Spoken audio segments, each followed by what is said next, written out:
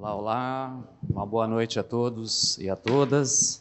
Uh, sou professor Denis Coitinho e coordenador do PPG de Filosofia Unicinos. Queria aqui dar as boas-vindas a todos os participantes né, do primeiro seminário docente do PPG Filosofia Unicinos uh, e desejar um bom evento a todos, evento que já começou hoje, não é? e vamos ainda ter a sua continuidade amanhã e quarta-feira.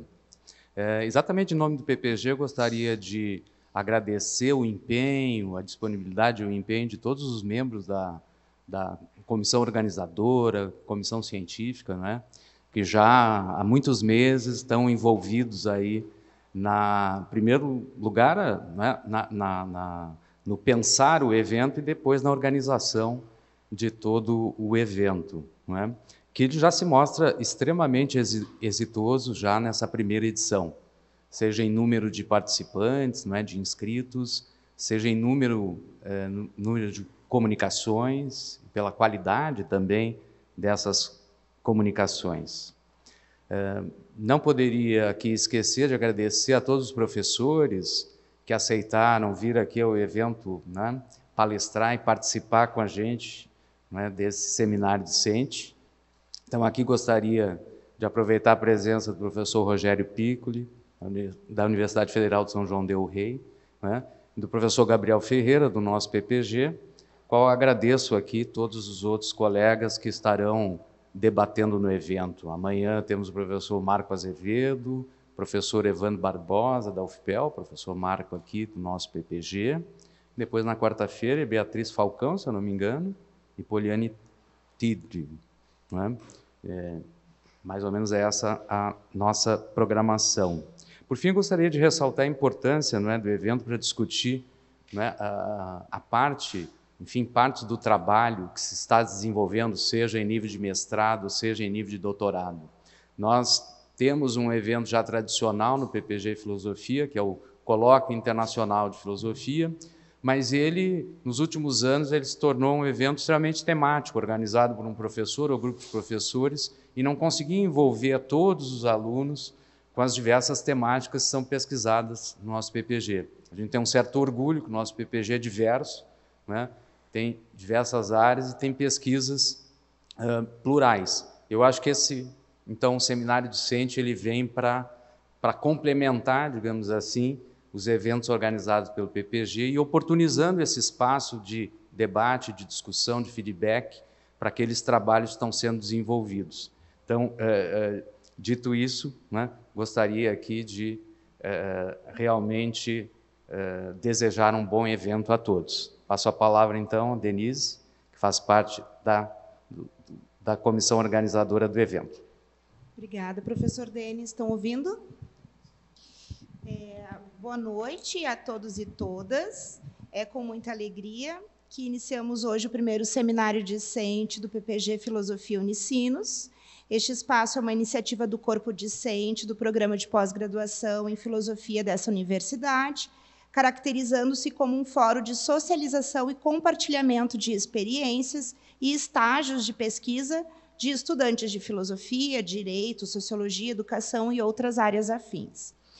Todo o seminário será transmitido ao vivo nos canais de filosofia da Unicinos, além de gravado e posteriormente postado no YouTube do departamento, que convido a todos a conhecerem. A filosofia é uma disciplina que nos desafia a interrogar o mundo ao nosso redor, refletir sobre os grandes mistérios da existência e explorar as profundezas do domínio humano. Neste seminário, temos a oportunidade de aprofundar os debates, trocar ideias e explorar as diferentes correntes filosóficas que moldaram a nossa compreensão do mundo ao longo do tempo. Durante estes dias, teremos comunicações estimulantes e conferências inspiradoras, sempre com o objetivo de alargar nossa visão de mundo e fomentar um diálogo aberto entre os participantes. Acreditamos que é nos momentos de reflexão, discussão e partilha que verdadeiramente crescemos enquanto indivíduos, pesquisadores e enquanto sociedade. Por fim, gostaria de agradecer ao professor Denis Coitinho, coordenador do nosso PPG, por ter incentivado e apoiado nosso evento. Aos palestrantes de hoje, professor Rogério Piccoli e professor Gabriel Ferreira, pela acolhida e pelo excelente debate que certamente farão. Agradecer aos colegas da comissão organizadora, da comissão científica, à Escola de Humanidades e à Unicinos, que tornaram este evento possível. Sem o esforço conjunto de todos, não estaríamos aqui hoje. Também gostaria de agradecer a todos os participantes por dedicarem seu tempo e energia para o sucesso desse seminário. Desejo a todos um evento repleto de aprendizado, trocas enriquecedoras e momentos memoráveis. Vou ler rapidamente a, a biografia do professor Rogério e do professor Gabriel. Rogério Piccoli é doutor em ciência política pela USP, realizou estágio pós-doutoral em ética pela Universidade do Rio de Janeiro. Atualmente é professor da graduação e do PPG em filosofia da UFSJ. Gabriel Ferreira é doutor em filosofia pela Unicinos, realizou estágio pós-doutoral na Universidade de Pittsburgh, nos Estados Unidos, e atualmente é professor de graduação e do PPG em filosofia da Unicinos. É isso, muito obrigada.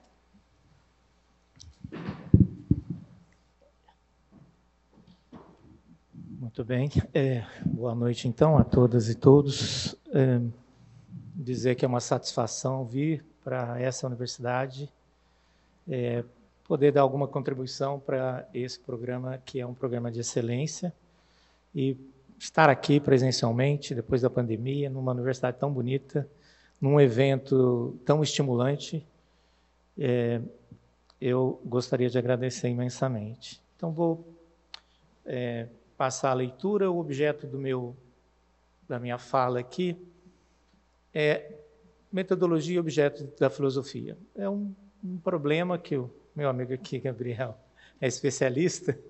Eu, na verdade, não sou especialista nessa área. Né? Eu sou um um curioso, mas essa é uma temática que não sai da, das minhas considerações por uma exigência da profissão e por uma certa característica biográfica que eu vou destacar aqui na, no início da minha fala.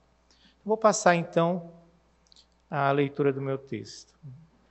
Eu devo iniciar então essa conferência agradecendo o convite, agradeço nas pessoas do Jairson é, Parchel e da Denise Silveira, a comissão organizadora, a comissão científica desse primeiro encontro de discentes de pós-graduação em filosofia da Unicinos. Gostaria de saudar e parabenizar os professores deste programa de excelência, saudar em especial os meus colegas de GT da Ampof, professor Marco Antônio Azevedo, ex-coordenador de GT, vai falar amanhã, o meu colega Denis Coitinho, atual coordenador deste programa de pós. Gostaria de saudar também o comentador desta conferência, professor Gabriel Ferreira. É uma satisfação conhecê-lo. Registro a minha satisfação por poder estar presencialmente no Unicinos e por poder com, compartilhar algo do meu interesse, principalmente é, por aprender com vocês. O tema proposto para a conferência é Metodologia e Objeto de Pesquisa em Filosofia. Devo iniciar dizendo que não sou especialista em metafilosofia ou filosofia da filosofia. Eu não tenho me dedicado a estudar sistematicamente essa temática. No entanto, no meu caso, e acho que, enfim, para todos que aspiram a fazer filosofia, digamos profissionalmente, essa é uma temática que está sempre lá cruzando os nossos caminhos. Para mim, essa temática do objeto e da metodologia da filosofia é algo pelo que tenho curiosidade em momentos diferentes, eu me volto a ela. Por que ela me é cara, essa temática? Talvez por eu ser graduado em filosofia, é... não ser graduado em filosofia, tem um erro aqui no texto. Embora eu não tenha, eu tenha feito especialização em mestrado no antigo programa da PUC Campinas, sob a orientação da professora Maria Cecília Maringotti Carvalho, pelas mãos de quem eu fui apresentado ao domínio da filosofia e, particularmente, ao domínio da ética. A minha área de graduação é instrumentação e controle de processos. Eu trabalhei durante 10 anos num laboratório de materiais do primeiro acelerador de elétrons do laboratório Synchrotron, em Campinas, agora expandido para a máquina Sirius. No laboratório, eu construí um forno de atmosfera controlada e desenvolvi um sistema de controle de temperatura de alta precisão, com a finalidade de fabricar sensores elétricos com estanquidade de ultra alto vácuo, por meio da técnica de brasagem metal cerâmica com liga de elemento reativo. No mesmo laboratório de materiais, também trabalhei com controle de qualidade da composição química e da caracterização metalográfica e física dos materiais usados na construção do acelerador. A pergunta é: por que raios ele está falando disso? Vou chegar. Essas duas atividades, o desenvolvimento e o domínio de técnicas, métodos e procedimentos, eram cruciais para a qualidade e a precisão dos laudos de análise e também para o sucesso e a qualidade dos lotes de fabricação dos sensores. Para a precisão do aquecimento e do resfriamento do forno, tínhamos de assegurar o completo controle da potência de irradiação dos elementos de aquecimento do forno e da composição da atmosfera do forno. Nesse contexto, duas noções mostraram-se particularmente críticas: a noção de sistema e a noção de avaliação.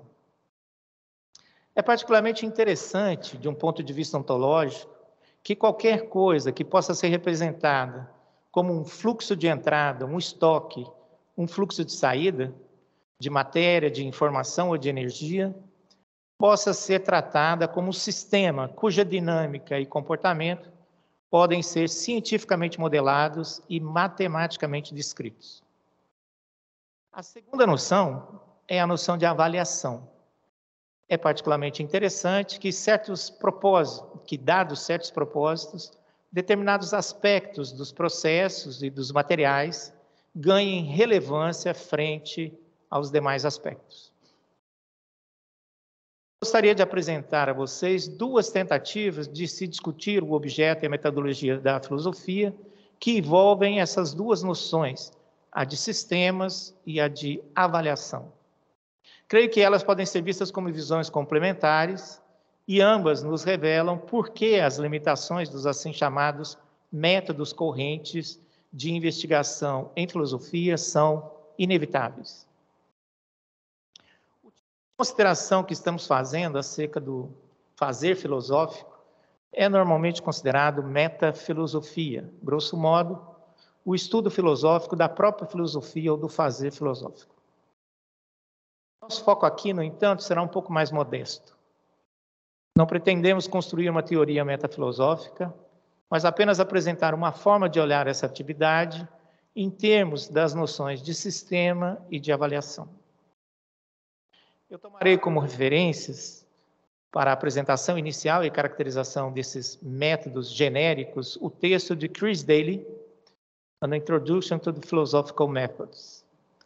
Para o exame das limitações, eu recorrerei a duas tentativas de olhar o trabalho filosófico em termos de sistemas e de avaliação.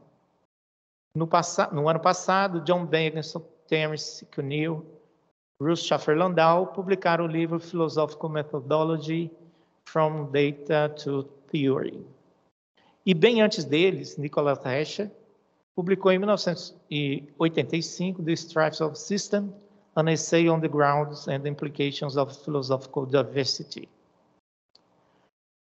Algo como desavenças ou conflitos dos sistemas filosóficos, obviamente. No livro Introduction to the Philosophical Methods, Chris Daly propõe-se abordar três questões principais. Que tipos de dados dão suporte a hipóteses ou alegações filosóficas? e o quanto de suporte apropriado esses dados podem fornecer. Quais são os critérios ou princípios que regulam o modo como selecionamos as hipóteses ou as alegações filosóficas relevantes? E terceira pergunta: que tipo de hipóteses supõe-se que sejam as hipóteses filosóficas?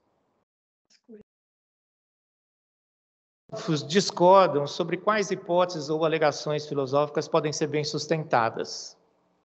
Eles também discordam sobre quais métodos podem oferecer tal sustentação. Além disso, eles discordam também sobre que tipo de dados podem servir como sustentação apropriada para as hipóteses ou alegações filosóficas.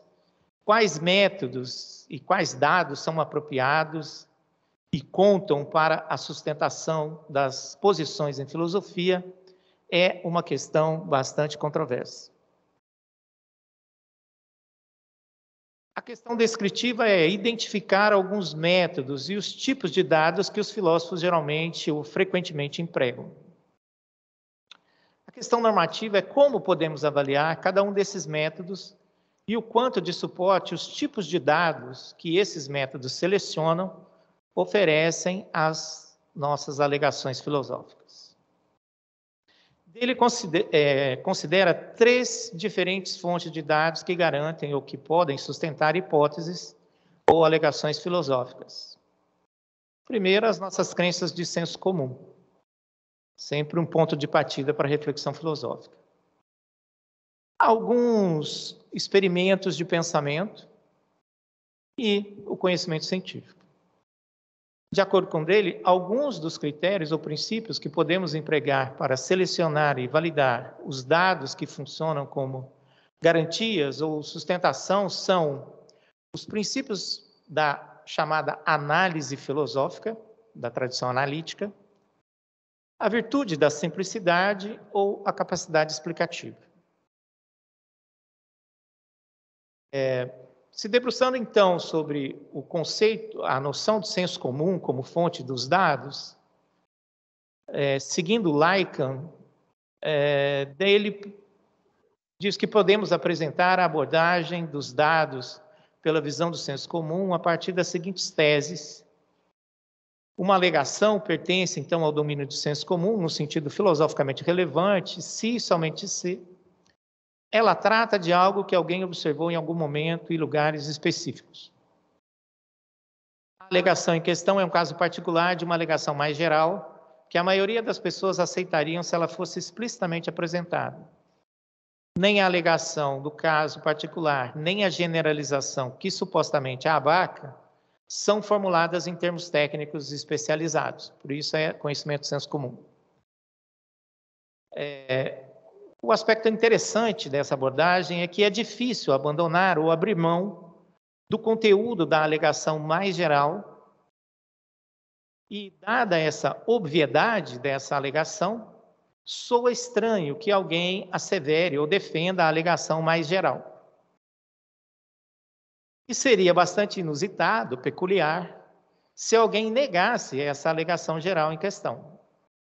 Essas características, então, definiriam algo como sendo a fonte de dados que é a chamada do senso comum. Precisa reunir essas características.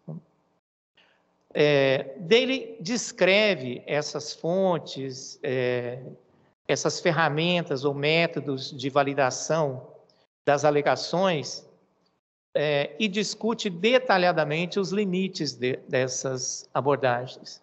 Não é o meu foco aqui. Eu estou usando dele para dizer que é um excelente texto que examina essas questões, mas eu estou utilizando mais para fazer uma pequena introdução aos elementos da reflexão que a gente poderia chamar da tarefa de elaboração filosófica. De acordo com Dummett, uma concepção de senso comum é aquela com base na qual a maioria das pessoas, numa dada cultura, num dado momento, sustenta os seus pensamentos cotidianos. Para uma concepção de senso comum, não se exige que as pessoas considerem tais pensamentos envolvidos como pensamentos indiscutivelmente certos. Eles não estão seguros disso.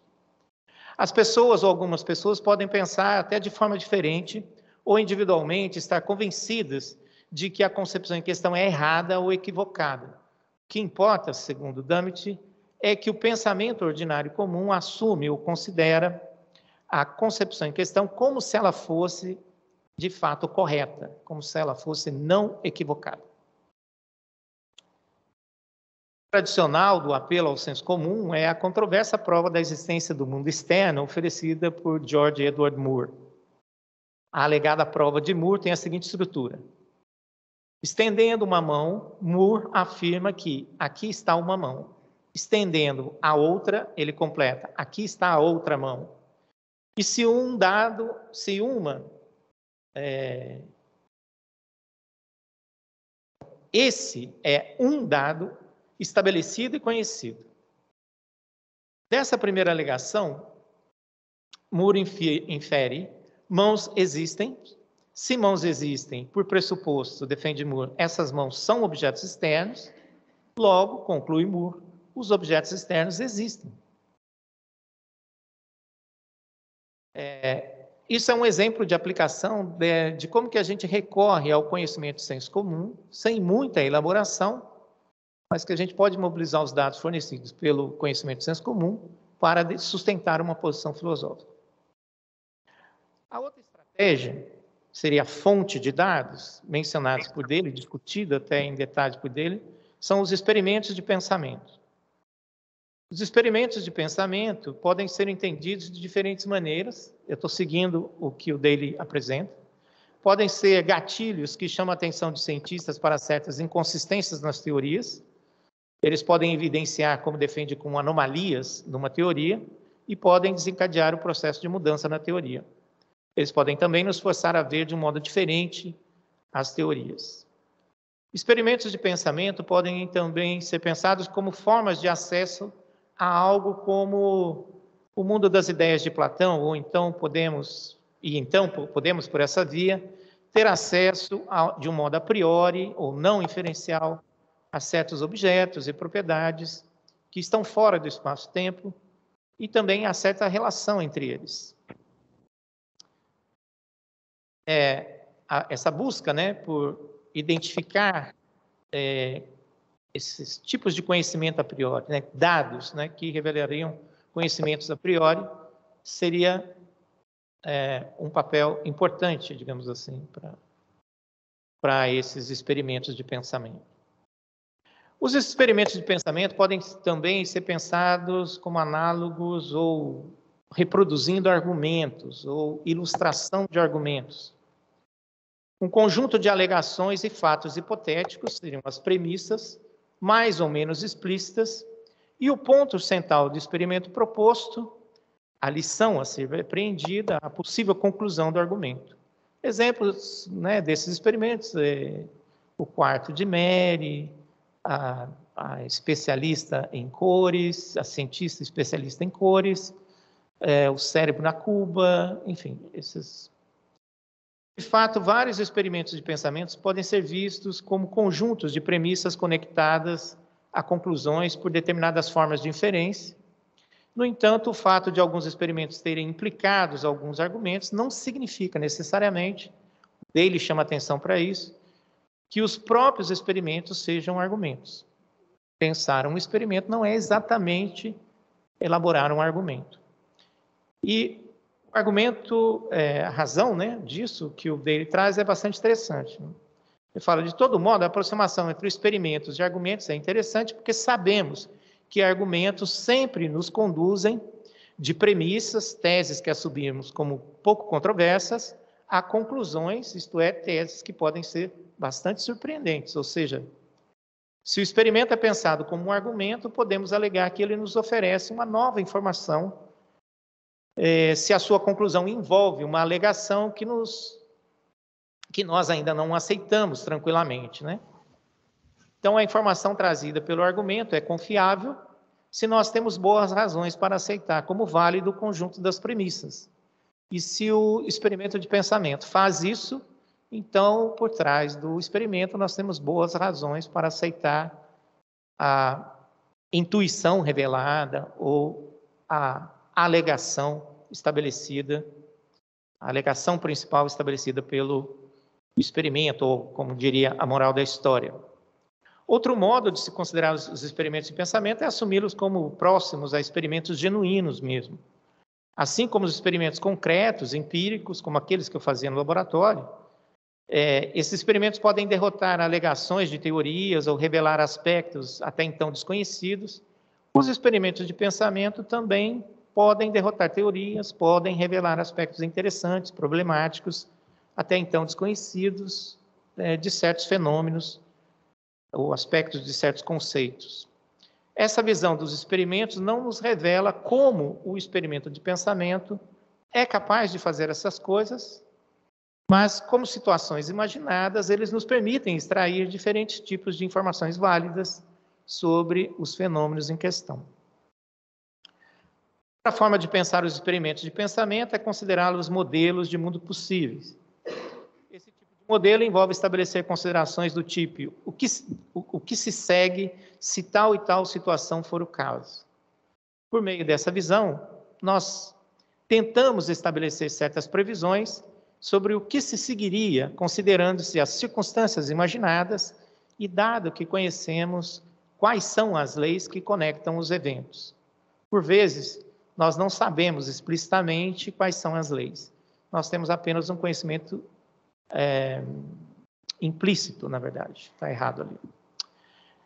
Seja como for, experimentos de pensamento entendidos como modelos baseados em casos hipotéticos parecem ser capazes de evocar e chamar a nossa atenção para intuições que posteriormente podem ser melhor elaboradas. Então, experimentos de pensamento é uma fonte importante, pode ser uma fonte importante de dados relevantes para o trabalho filosófico. Por fim, é, os filósofos sempre se deparam com essa questão se o modelo ideal daquilo que eles fazem é mesmo o um modelo científico, se é possível aproximar ou não os dados que os filósofos mobilizam daqueles da maneira como uh, os cientistas selecionam os seus dados. Então, a outra fonte de dados das investigações filosóficas são os dados científicos. A questão de saber se os procedimentos científicos podem nos ajudar a selecionar dados que nos ajudem a oferecer sustentação para as nossas posições filosóficas envolve considerar se há afinidades entre o fazer ou a atividade das ciências e a atividade filosófica. Uma visão corrente sustenta que problemas filosóficos são problemas de um tipo bastante distinto dos problemas científicos. E por isso os métodos científicos né, das ciências, digamos, naturais, baseados na observação, nos experimentos e no exame das conexões causais entre eventos, seriam, para a filosofia, pouco elucidativos. Normalmente as teorias científicas são pensadas como ferramentas que nos auxiliam a lidar com problemas empíricos, né? mais com problemas empíricos do que com problemas abstratos, como é o caso da filosofia. Então, uma forma de se considerar que há uma diferença entre filosofia, entre a ciência e a filosofia, se pensar que essas atividades envolvem tipos de investigações distintos e que por isso elas demandam métodos, princípios e critérios distintos, é assumir que pelo menos as ciências naturais ocupam-se da elucidação de relações causais entre ocorrências no mundo. Essa é uma visão bastante ingênua, digamos assim, das, das ciências naturais, mas é uma aproximação até pedagogicamente relevante, digamos assim. É, e a filosofia, por outro lado, ocupa-se de todas as outras formas de relação, no entanto, não de relações entre fatos, mas de relações entre ideias e entre ideias e conceitos. Eu, particularmente, acho que essa é uma maneira interessante de pensar a atividade filosófica. Né? Ela se debruça sobre relações que existem entre conceitos e entre as ideias que compõem os conceitos. É, e o caráter racional, digamos assim, da investigação filosófica talvez esteja exatamente na raiz do termo relação, raço. Né? É, daí que as ciências naturais e a filosofia se ocupariam ambos de atividades racionais, que é a atividade de elucidar as relações. A diferença é que a ciência estuda especificamente relações entre eventos, enquanto que a filosofia, embora a terminologia sobre a qual ela se debruça esteja dirigida também a eventos no mundo real, no mundo concreto, ela não se ocupa diretamente desses eventos, mas desses conceitos e das relações que existem e como esses conceitos são formados e como se estabelecem as relações entre os componentes desses conceitos. uma pausa aqui para explicar um pouco por que, eu considero relevante. É, durante muito tempo eu estudei sustentabilidade. Todo mundo, uma visão de, de, uma primeira aproximação da noção de sustentabilidade diz que sustentabilidade leva a sério três dimensões: a econômica, a social e a ambiental. E aí a tentativa de conceituar, é, conceitualizar, seria melhor dizendo, a sustentabilidade é dizer, tentar esclarecer como que essas dimensões se relacionam, né? E a forma específica como a gente caracteriza a relação entre essas três dimensões revelaria então isso que a gente chama o conceito de sustentabilidade. Os economistas são muito ceosos daquilo que eles fazem no domínio deles. Eles não gostam muito de é, revelar a porosidade daquilo que eles fazem. Então, eles entendem que a atividade econômica, a, a, a dimensão social e o, o aspecto ambiental são dimensões distintas, embora eles tenham conexões entre si. Mas não precisa muito esforço para perceber que não dá para falar de economia sem relações sociais. Portanto, a gente pode pensar que a atividade econômica é fortemente condicionada pelas relações sociais que são estabelecidas. Isso nos leva a uma segunda compreensão de sustentabilidade. A gente tinha uma concepção criada na economia que era, ficou conhecido como sustentabilidade fraca. Essa segunda abordagem revela para a gente que a sustentabilidade pode ser um pouco mais exigente. Então, ela é conhecida como sustentabilidade forte.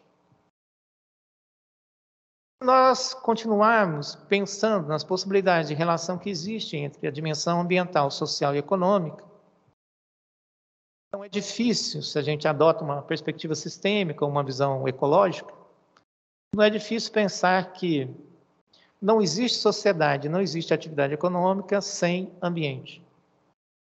Portanto, o ambiente condiciona tanto a atividade, tanto as nossas interações sociais quanto a nossa atividade econômica.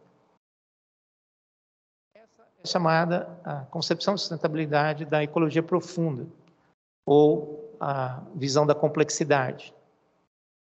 Você percebe que é uma concepção de, de sustentabilidade bastante mais complexa e bem mais exigente, que estabelece é, uma certa ordem de precedência ontológica. Né?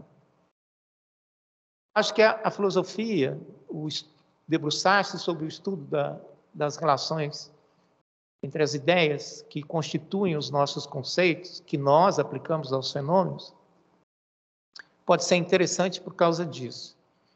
Nós podemos pensar também que, uh, por exemplo, no caso da democracia, uma abordagem de senso comum ou, ou imediata, ou pouco refletir sobre a democracia, diz que é a aplicação da regra da maioria.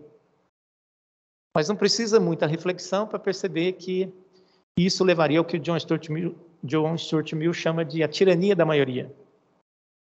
Então, é necessário você pensar que a minoria tem de ter oportunidade de tornar-se maioria antes né, da aplicação da regra da maioria. Ou precisa acontecer uma coisa antes da aplicação da regra da maioria, e que, obviamente, é a tentativa da minoria convencer a maioria no livre debate. Se essa instância do debate está instalada, não é difícil pensar também que para que alguém tenha voz no debate, essa pessoa precisa ter atendido certas necessidades fundamentais, né? ou liberdades básicas, como diria John Rawls. Ela precisa ter acesso à educação, a conhecimento, precisa ter saúde. Né? As pessoas que não tiveram, é, as as pessoas que atualmente são vítimas da microcefalia em decorrência da epidemia de vírus, vírus da Zika no Nordeste, por exemplo, é, certamente elas não são, falta a elas é, elementos para ter uma participação autônoma no debate democrático. Portanto, se nós não temos determinados direitos garantidos, nós não nos constituímos como agentes capacitados para a participação democrática. De novo, o que a gente está vendo é que a democracia parece ser não exatamente um procedimento de aplicação da regra da maioria, mas um processo, o que mudaria também o estatuto do conceito. Enfim, poderia seguir com outros exemplos desse tipo, mas acho que esses, esses dois principais ilustram para a gente é, por que, que a atividade filosófica é importante e por que, que debruçar sobre os conceitos parece ser é, produtivo, digamos assim, para a filosofia. Essa questão se a, o conhecimento científico é uma base apropriada para é, a, o modelo né, científico, é uma base apropriada para a coleta de dados ou a seleção de dados relevantes para a reflexão filosófica, naturalismo, na versão quiniana, entende que a distinção entre filosofia e ciência não é exatamente a de tipo, não é uma questão de natureza. Ela diz respeito apenas à diferença quanto ao grau de generalidade das alegações. As alegações da filosofia são muito mais genéricas que as das ciências. Elas são mais abstratas. O naturalismo de Quine possui dois componentes principais. O naturalismo no sentido metafísico, a visão que de que apenas as entidades naturais existem, que elas podem ser estudadas pelos métodos das ciências naturais e que elas são entidades cuja existência e comportamento são determinados por entidades que são os objetos de estudo da investigação científica e nada mais. É, objetos de investigação das ciências naturais. O outro componente é o chamado naturalismo no sentido metodológico a tese segundo a qual não há nada para além das ciências que pode explicar a realidade.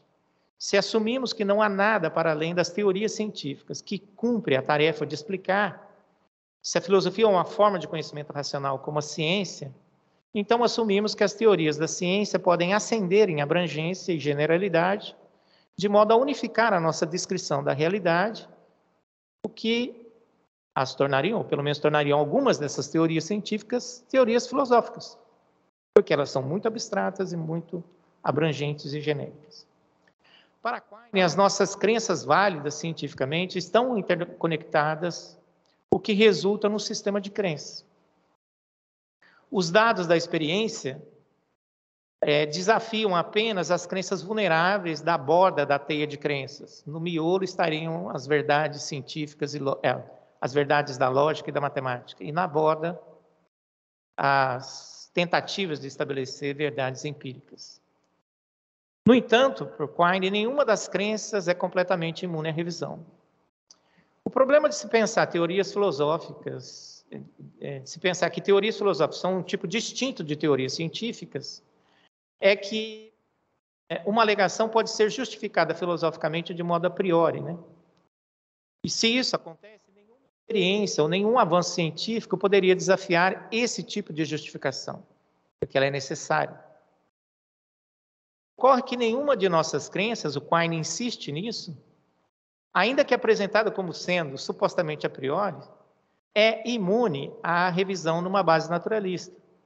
Se nenhuma justificação pode ser justificada fora de uma base naturalista, então a tese da autonomia e da capacidade da filosofia de justificar a priori deve ser uma tese equivocada na leitura do Quine, o que faz bastante sentido.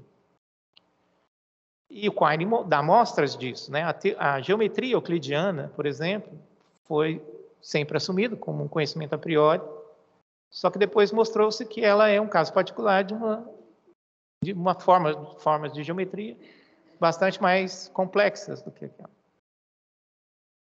É, e também a ideia de que o espaço e tempo são absolutos, no sentido kantiano. Daí que os métodos de justificação da filosofia não podem ser tão distintos dos métodos de justificações da ciência. Esse é um argumento bastante persuasivo, eu acho.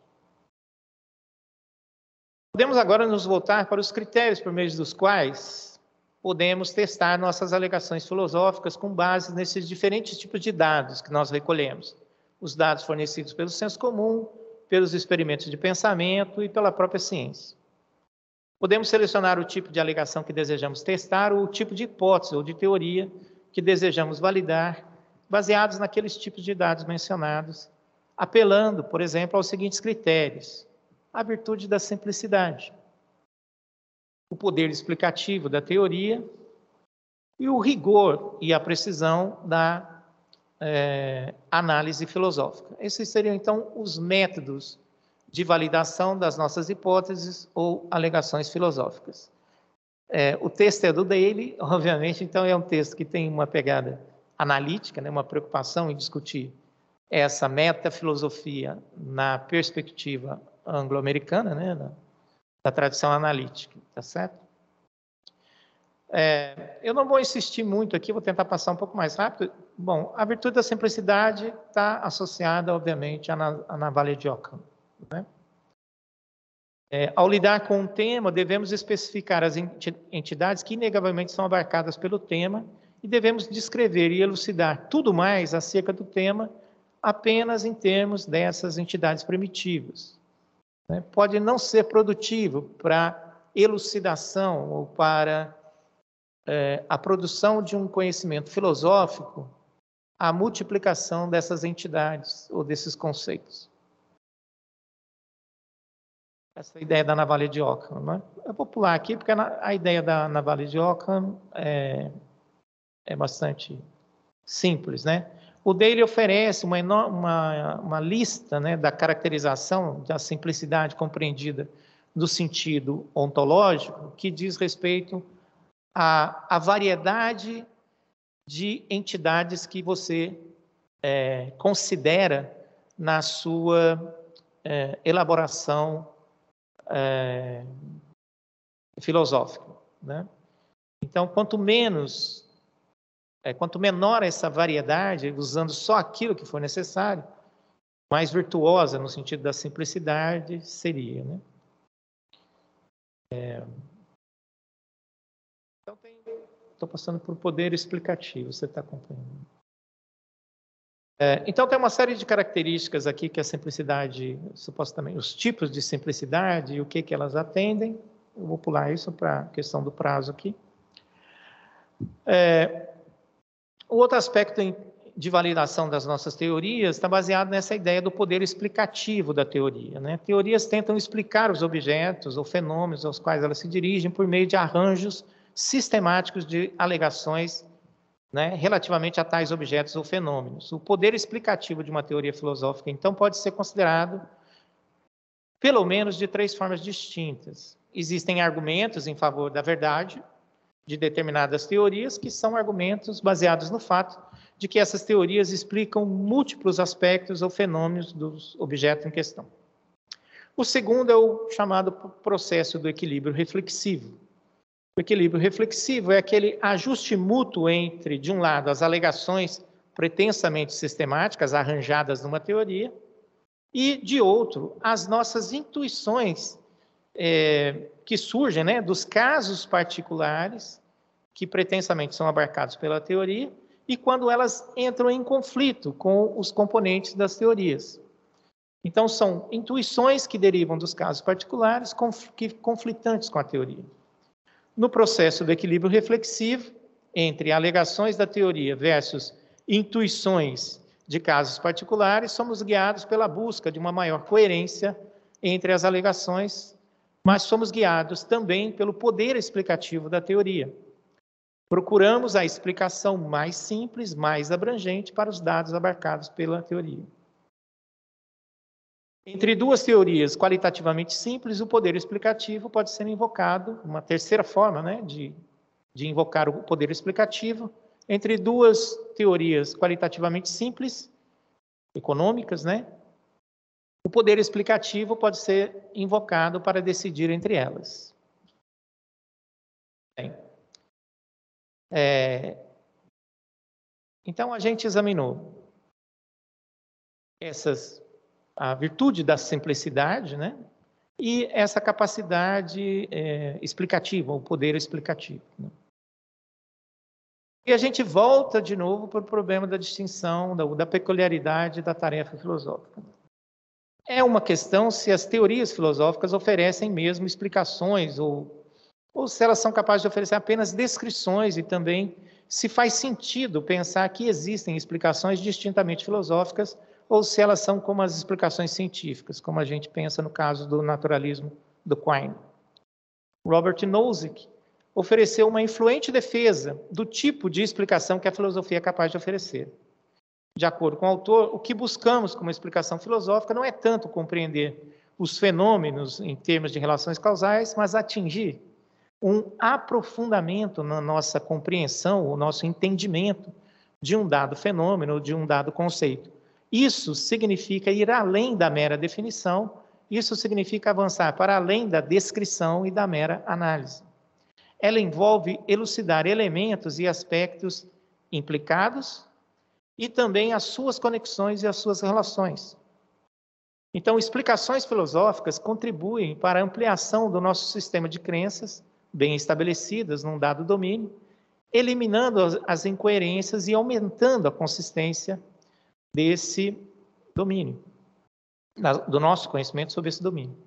Então, o poder explicativo das alegações filosóficas decorre do fato de que as explicações circunscrevem e elucidam fenômenos e conceitos. As explicações filosóficas nos oferecem uma compreensão da relevância de certos fatos nos permitem reconhecer padrões e estruturas, circunscrever sistemas, entender melhor as causas de certos fenômenos, compreender as razões de determinados desafios. Elas nos conduzem também a distinções conceituais mais refinadas. Então, eu, pare, me parece bastante convincente essa é, sugestão do Nozick, né, que há algo, sim, que a filosofia faz que não é, é atestar a verdade, digamos assim, no sentido científico, por exemplo. É, outra forma de selecionar e validar uma teoria é aplicar ao conjunto das alegações algumas das técnicas daquilo que genericamente tem sido chamado de análise filosófica. Apesar da designação comum, trata-se na realidade de uma variedade de técnicas que não possuem quase nada em comum, na verdade. A análise lógica procura revelar a estrutura lógica dos argumentos que dão suporte às alegações reunidas na teoria.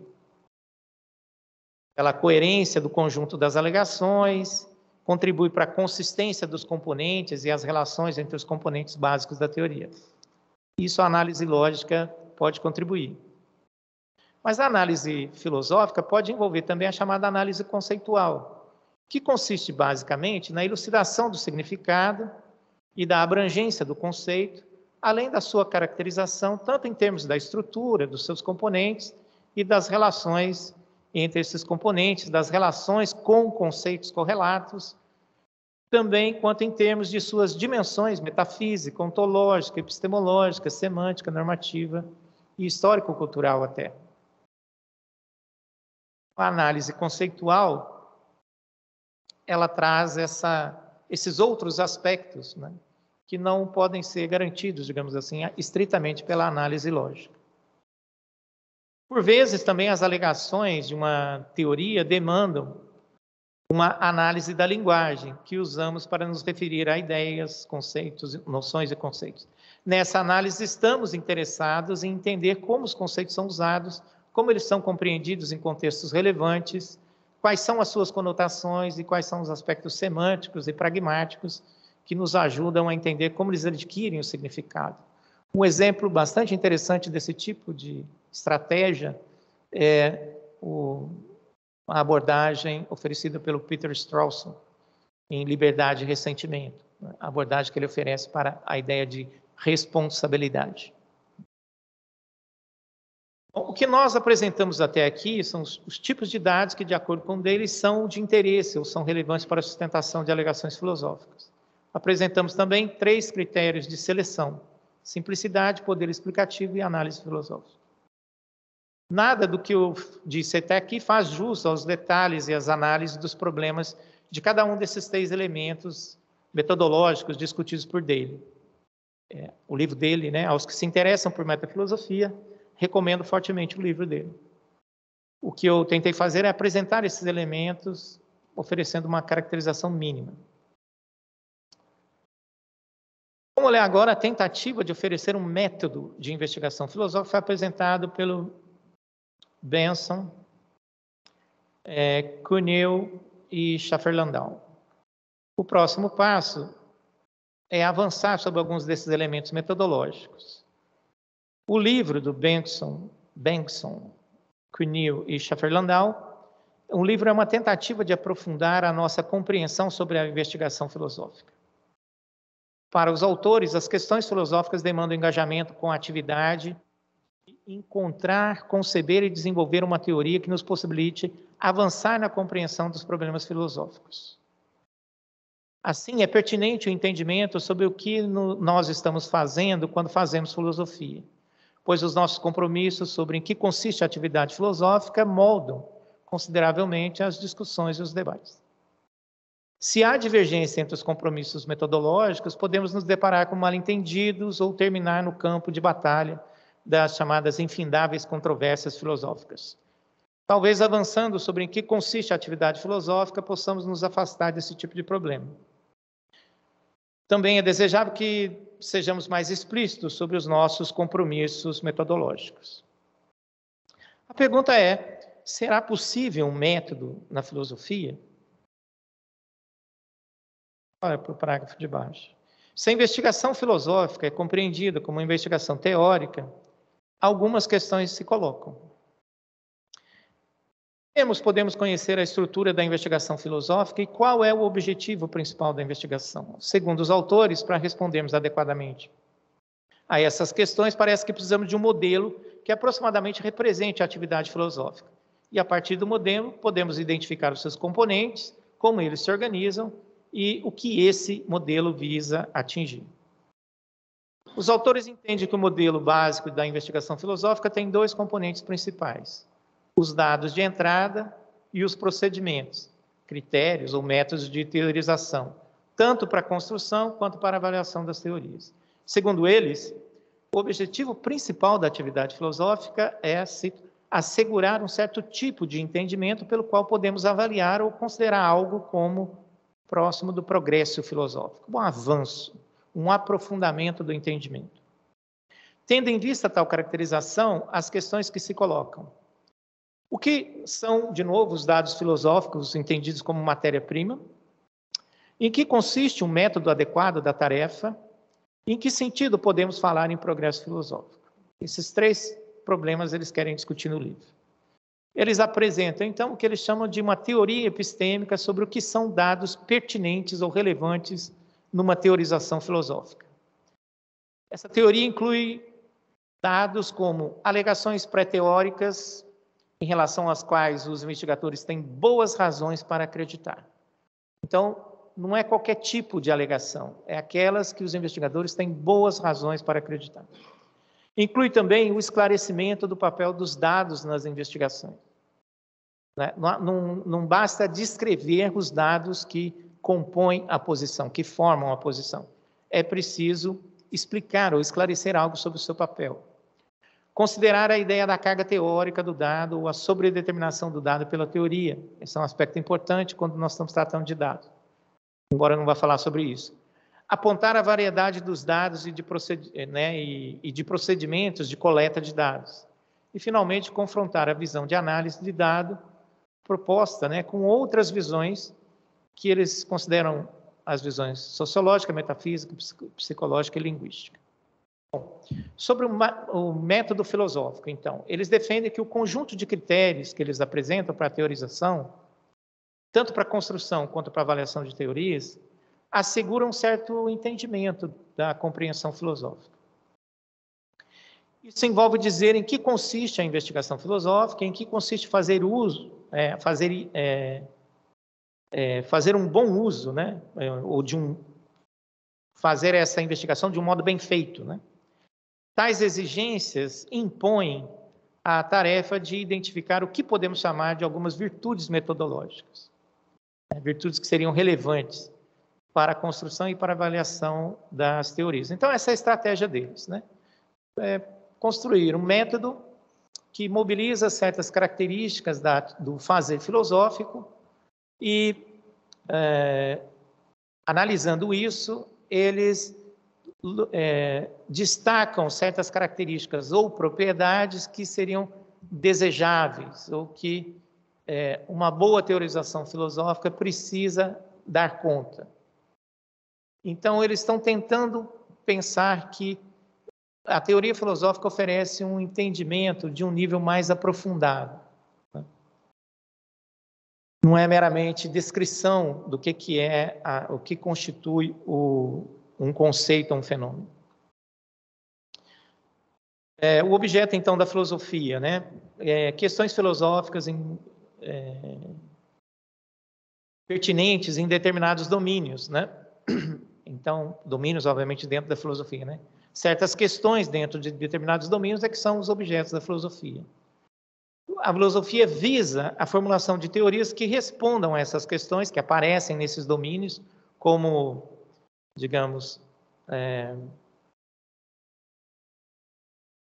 aquelas áreas que circunscrevem um é, determinado cluster de conhecimento, né, determinado aglomerado de conhecimento, né, e que nos permite avançar o entendimento desse domínio, desses domínios, no caso. Né. Então, uma teoria seria esse conjunto de alegações cujo êxito depende, então, da sua habilidade de lidar com dados básicos, característicos do domínio, mas isso não significa meramente fornecer argumentos e depois eu fornecer argumentos contra os argumentos, é que normalmente se entende o que é fazer filosofia. Eu arrumo uma posição, defendo essa posição, depois combato os que defendem a posição contrária, os melhores argumentos contrários. O argumento dos autores em favor dessa distinção é que argumentos e teorias não são do mesmo tipo de coisa. Argumentos e teorias têm condições de êxito ou satisfação diferentes, e o foco então é sobre esses essas condições de satisfação, ou de êxito. Argumentos exitosos são argumentos informativos, sólidos, cogentes, e eles podem ser exitosos, mas sem que a conclusão esteja vinculada a nenhum dado de partida. Né? Ele dá o exemplo da negação. As teorias, por seu turno, são exitosas se elas lidam bem com os dados de que elas dependem e que elas reúnem. Então, análise de argumento não é formulação de uma teoria filosófica.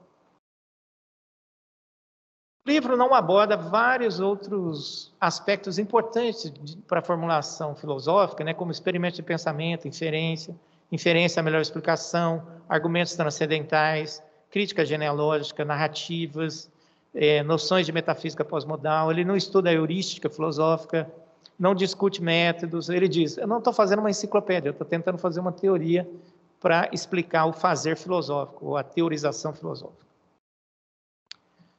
Bom, no capítulo 1, que trata da investigação filosófica, então, é, o primeiro passo é reconhecer que a investigação é um processo, uma atividade que visa um fim e também algo que se desenvolve por etapas. É aqui que entra de novo a, a aproximação com ah, os sistemas. Podemos pensar que a investigação filosófica é um processo estruturado em duas etapas ou dois estágios. O primeiro é a coleta de dados, o segundo é a teorização.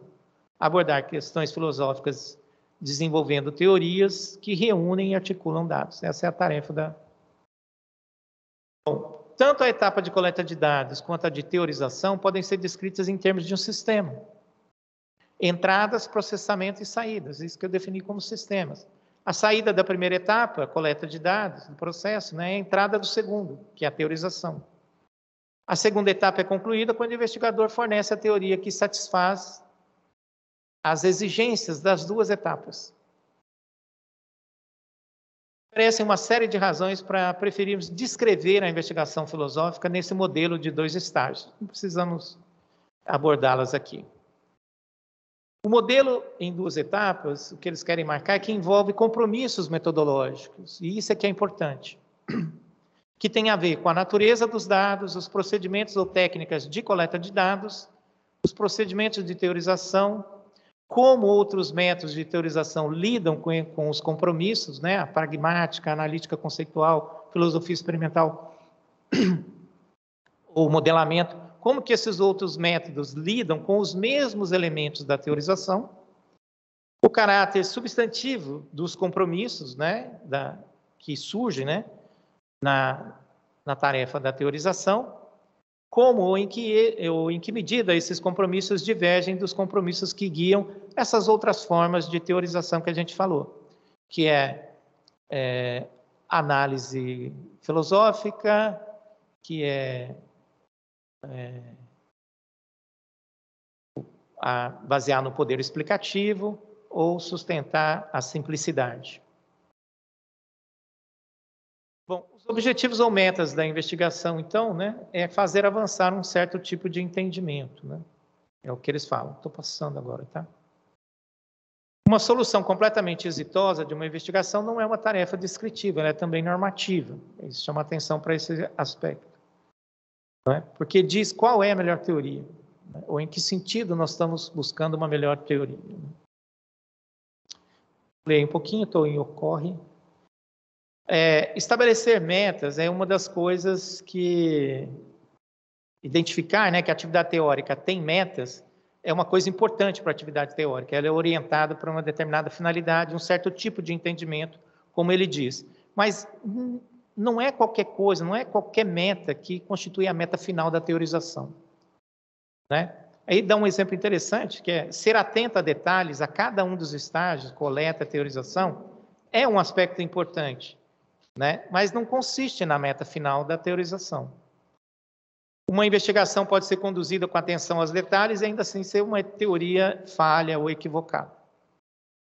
Né? É, ainda que se queira elaborar uma teoria corrigindo ou ampliando a lista de detalhes, isso não seria suficiente para atacar o problema de fundo que conduziu ao equívoco da teoria. Nós não esclarecemos isso. Né? Enfim, empilhar detalhes ou uma coleção de crenças verdadeiras em si mesmo não nos assegura o tipo de elucidação sistemática que parece demandar a teorização.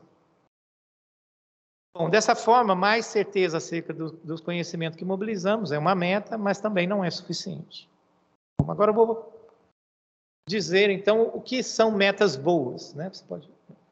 Metas boas fornecem pontos de referência para selecionar questões balizadoras se elas fornecem parâmetros para se avaliar os métodos da teoria e se elas são também base para avaliação de métodos usados na própria construção da, é, da teoria. Então, um método sólido se habilita, é, é, um método sólido, né, habilita, que habilita o, o investigador a atingir a meta apropriada da investigação, né, se ele fornece o método fornece um entendimento teórico elucidativo, sistemático e abrangente. Bom, então quais seriam essas características do entendimento teórico que, né, é, que é esse tipo de entendimento que ele quer, né? Bom, ele lista quatro, cinco características principais. Um alto grau de exatidão. Esse conhecimento afasta confusões. Se a teoria é baseada na razão, né, ela fornece suporte à, à exatidão de uma, uma teoria robusta. Então, ser baseada na razão é um aspecto importante. Se é uma teoria efetivamente elucidativa, que vai além da mera descrição para explicar é, por que cada um dos aspectos é um aspecto relevante. Se é uma teoria ordenada, no sentido de que ela explica características relevantes da questão e se ajusta à visão mais ampla naquele domínio. Cinco, se ela é uma teoria coerente, tanto internamente quanto externamente. É... As características aqui eu devo ter errado em algum momento aqui. Bom, enfim, seja como for, o atendimento a essas propriedades afasta o entendimento teórico como atividade que visa a mera verdade ou a crença justificada ou a adequação, adequação do conhecimento ordinário ao conhecimento ordinário. Além disso, elas revelam também o conhecimento teórico, que o conhecimento teórico não é um tipo de perfeição sistêmica, epistêmica, mas é uma forma de excelência. Agora eu vou dar um salto, porque o tempo aqui já está esgotando. É, os dados filosóficos para os autores também têm certas características que eles precisam atender e que vão no sentido dessa meta final, que é uma teoria que é, atrelada aos dados e que nos fornece um aprofundamento da compreensão é, do, é, do nosso entendimento, digamos assim, dentro daquele domínio, tá certo? Então, eles é, estabelecem, né, especificam uma série de, de aspectos que seriam que um dado precisaria, é, uma teoria que é bem suportada nos dados, os dados que ela captura, que ela coleta, precisa atender. Ele tem que ser um ponto de partida da reflexão, ele tem que fornecer, ele tem que ser um fator de restrição para a elaboração, limita, né, é, a coleção de coisas sobre o que a teoria é, né, é, o dado pode ser coletado com base em procedimentos diversos, em diversas fontes. O dado é factivamente neutro. Ele não, ele não em si mesmo, é, nessa dado coletado, né? Ele não dá suporte e nem favorece, né, um fato ou outro. Ele é neutro em relação aos fatos. E é um problema, né, para coleta de dados, é, que o dado pode ser e quase inevitavelmente é carregado de teoria. Mas eles consideram que isso não é um problema. Tá? Eles dizem que a maneira como eles estão pensando, isso não seria um problema sério. É, pensar a subdeterminação do dado pela teoria, né? Isso seria, se isso acontecesse, se isso fosse recorrente ou se for, tivesse um impacto muito grande, né, abarcasse toda a teoria, isso seria um problema muito sério. Mas eles consideram que nem sempre os dados é, vão nessa direção, né? Ou estão subdeterminados pela, pela teoria, tá? Bom, enfim, eles têm, então, eles têm critérios para é, estabelecer esses dados. E aí eles propõem, então, uma teoria epistêmica do dado. O dado precisa figurar como ponto de partida, atender a restrições de investigação, poder ser coletado e ser factivamente neutro. Então, é, o, a teoria que nos permitiria coletar esses dados né, seria uma, uma teoria que permitiria identificar elementos constituintes de um processo, ajudaria a entender a estrutura e a dinâmica do processo de coleta de dados e estabelecer condições para a recusa legítima dos dados. Aí ele faz uma formulação epistêmica dessa dessa característica né, de que o dado precisa atender, né, dizer que ele está numa. É, de acordo com essa teoria né, dos dados, φ é um dado relevante no domínio D, se somente C, e porque φ é um dado sobre D, não pertence a nenhuma teoria ainda bem formada, é, por isso é um dado de partida, né? E os investigadores estão em uma boa condição epistêmica com relação a FI. O ponto deles é essa boa condição epistêmica. O que, que assegura essa boa condição epistêmica? Né? É a ideia de que essa condição epistêmica é determinada por uma certa teoria de razões epistêmicas. Né? Eu vou pular aqui a formulação da teoria, mas dá para entender. É, se a gente tem boas razões para acreditar na alegação que o dado carrega. Né? A teoria da razão epistêmica começa com os dados. Se um conjunto de dados satisfaz é, as condições, então os investigadores daquele domínio em conjunto têm boas razões para acolher os dados.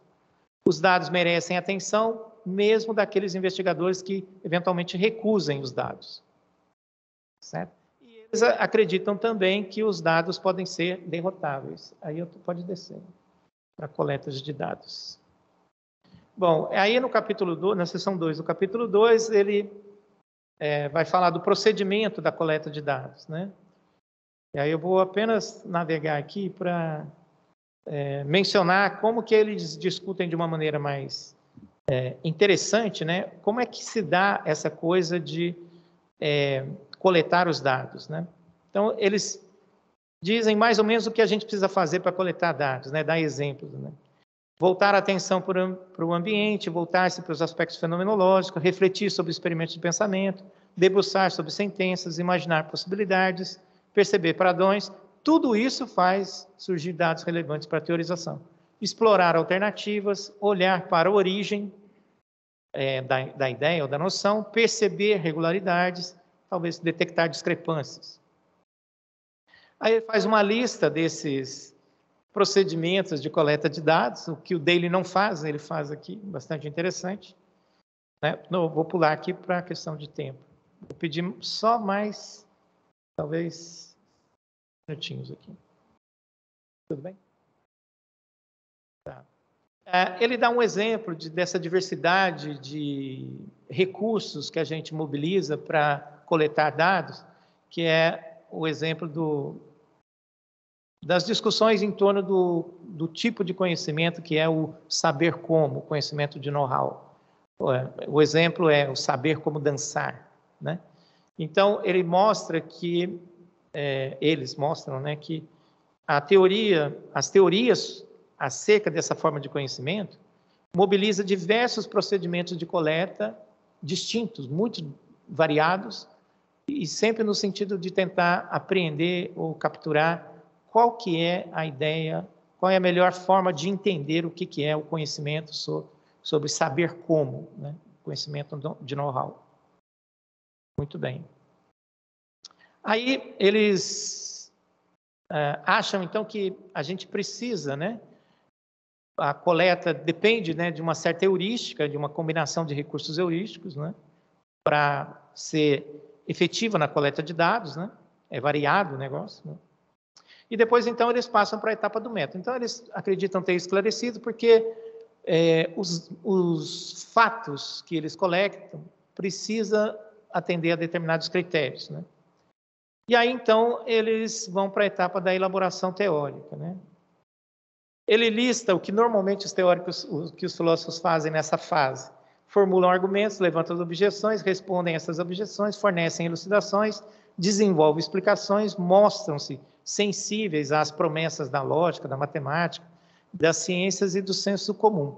Fazer filosofia, em geral, consiste nisso aqui. Só que eles não, são, não estão satisfeitos com isso.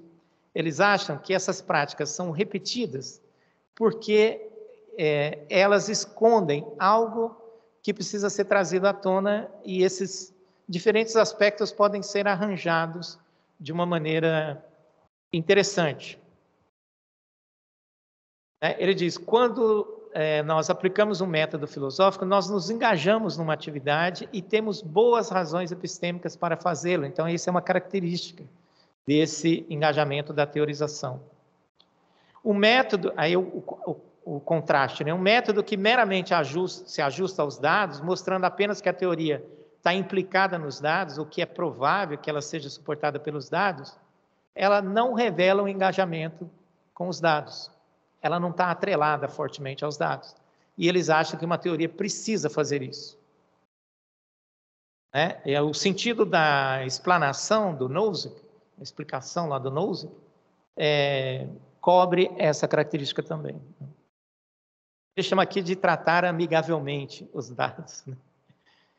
É, e o exame dos métodos usuais revela ainda outro aspecto, né? o método apropriado, ele é, em certo sentido, determinativo. Se você tem um método de teorização é, apropriado, ele aponta quais teorias ou hipóteses são relevantes e elimina uma grande quantidade de outras. Né? É, e aí a gente tem várias outras tendências, digamos assim, de utilização é, de aplicar o método de teorização, ele elenca aqui, eu não vou ler agora, mas depois, se vocês quiserem, que são aquilo que os métodos usuais fazem, aqueles que a gente viu, né? O que normalmente eles fazem, né? É... Então, segundo os autores, né?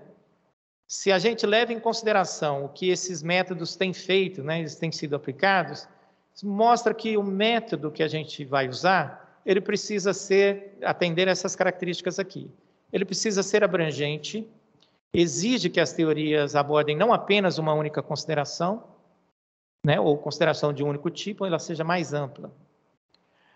Ela demanda suporte, né, oferece uma, o método oferece uma teoria que é epistema, epistemicamente bem apoiada por considerações positivas que falam em seu nome.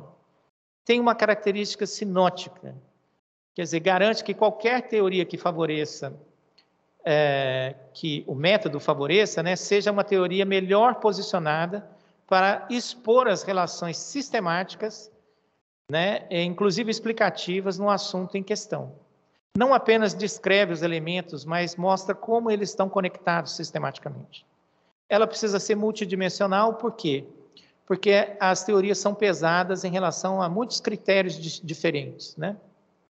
Então, a, o poder explicativo é um, o rigor lógico é outro, mas existem outras características ainda. Então, dado é, que o objetivo final apropriado da investigação é o entendimento teórico, que, né, ele precisa ser exato, robusto, baseado em razões, esclarecedor, ordenado e coerente, as virtudes apontadas são coerentes com essas características do entendimento fornecido pela teoria. Então, segundo os autores, o entendimento teórico apropriado é o estado de um agente que envolve uma teoria que atende a esses seis requisitos um alto grau de exatidão, uma teoria que é baseada em razão, que ela é robusta porque ela responde a várias questões. Ela é efetivamente elucidativa, ela vai além da mera descrição. Ela oferece um ordenamento para os dados relevantes, uma articulação sistemática desses dados. Ela é interna e externamente coerente. Ela ajusta seus dados tanto internamente quanto às teorias externas. Se esses são os parâmetros, para o entendimento teórico adequado, então o método tem que ser abrangente, tem que demandar apoio ou suporte, tem que ser sinótico, tem que ser multidimensional, tem que ser comparativo. Né? É, tem que ser capaz de hierarquizar os critérios. Né? Então, eles acreditam que eles conseguem organizar isso no método que eles chamam de, dos três níveis, um método em três níveis. Um primeiro nível, o investigador precisa lidar com os dados. No segundo nível, ele precisa garantir as alegações e compromissos reunidos na teoria, né, que sejam bem fundamentados, é, epistemicamente, explicativamente. Quer dizer, tem que atender a certas virtudes epistêmicas, né? E um terceiro nível envolve avaliar se as teorias atendem mesmo essas, como que elas atendem a essas virtudes epistêmicas. Esses são os blocos principais de construção da, do método dos três níveis. Então, ao construir uma teoria num determinado domínio, os investigadores devem selecionar e articular um conjunto de teses, e esse conjunto de teses tem que acomodar os, e explicar dados relevantes, dados selecionados. Os dados precisam ser bem fundamentados e integrados de forma coerente, e o conjunto das alegações deve possuir virtudes específicas, que mostra que a que aquela teoria é merecedora de ser considerada a teoria mais apropriada. Muito bem. Esse tratamento epistêmico em três níveis que os autores dão à investigação filosófica, que visa a teorização, parece não capturar adequadamente o fato que, de que sistemas podem ser retroalimentados. Eles descrevem os sistemas, mas não percebem que sistemas podem ser retroalimentados que podem tender tanto para a estabilidade, o nível da nossa caixa d'água, por exemplo, quanto para a instabilidade, o, o, progresso de um incêndio, por exemplo, que escapa ao controle rapidamente.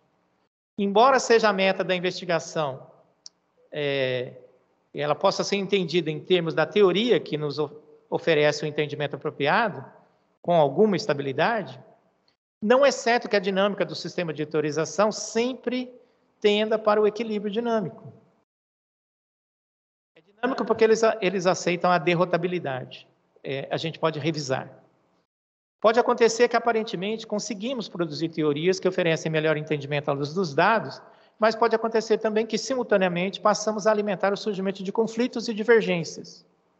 Isso é esperado porque uma das formas como tratamos ou respondemos aos desafios das divergências é introduzindo distinções cada vez mais sutis.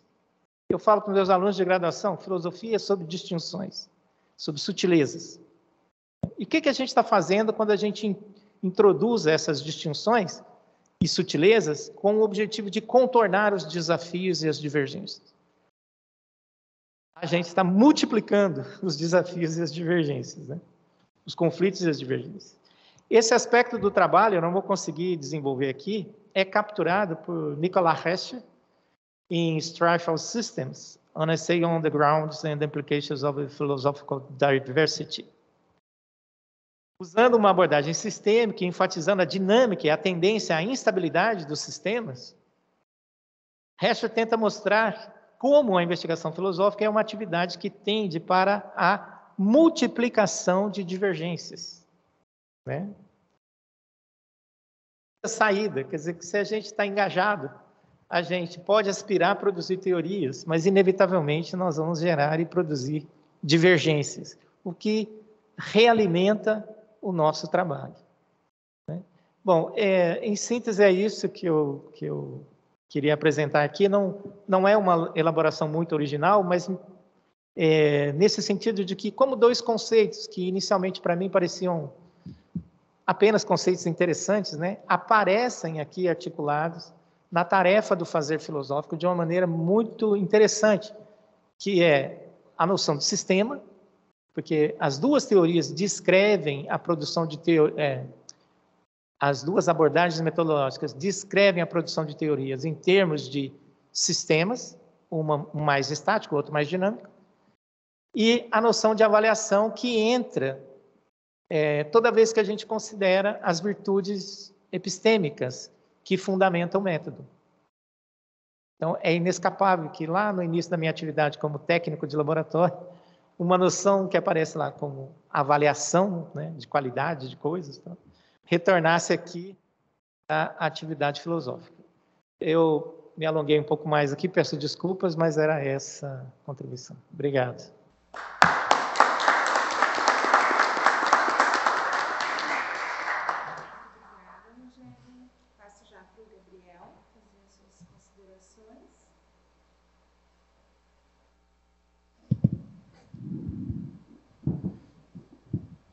Bom, em primeiro lugar, boa noite a todos.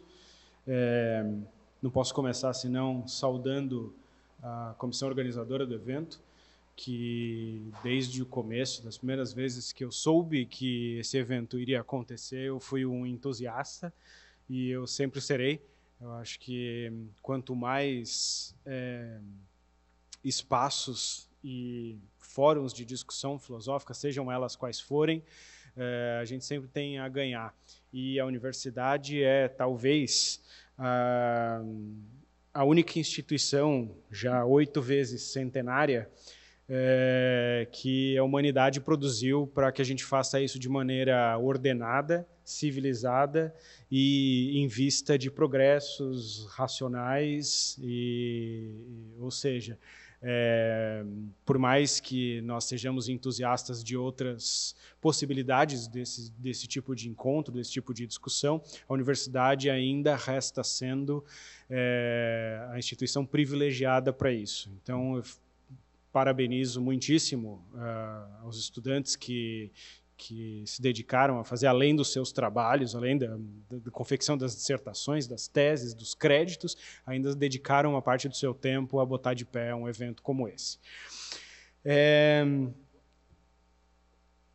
a, a, minha posição é razoavelmente bem fácil, porque é, geralmente quando se fala de, de, de, da função de um debatedor, é, se pressupõe que o debatedor vai disputar determinadas afirmações ou determinadas teses, e eu não só não vou disputar, como eu vou concordar em, em, em gênero, número e grau com as coisas trazidas pelo, pelo Rogério.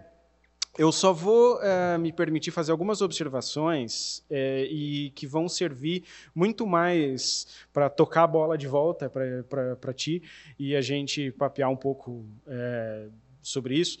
A primeira delas é uma coisa que eu não sei se geralmente, se isso fica razoavelmente claro para vocês, na fala deveria ter ficado, mas não sei se isso é alguma coisa tão premente para vocês é, a urgência é, desse tipo de discussão.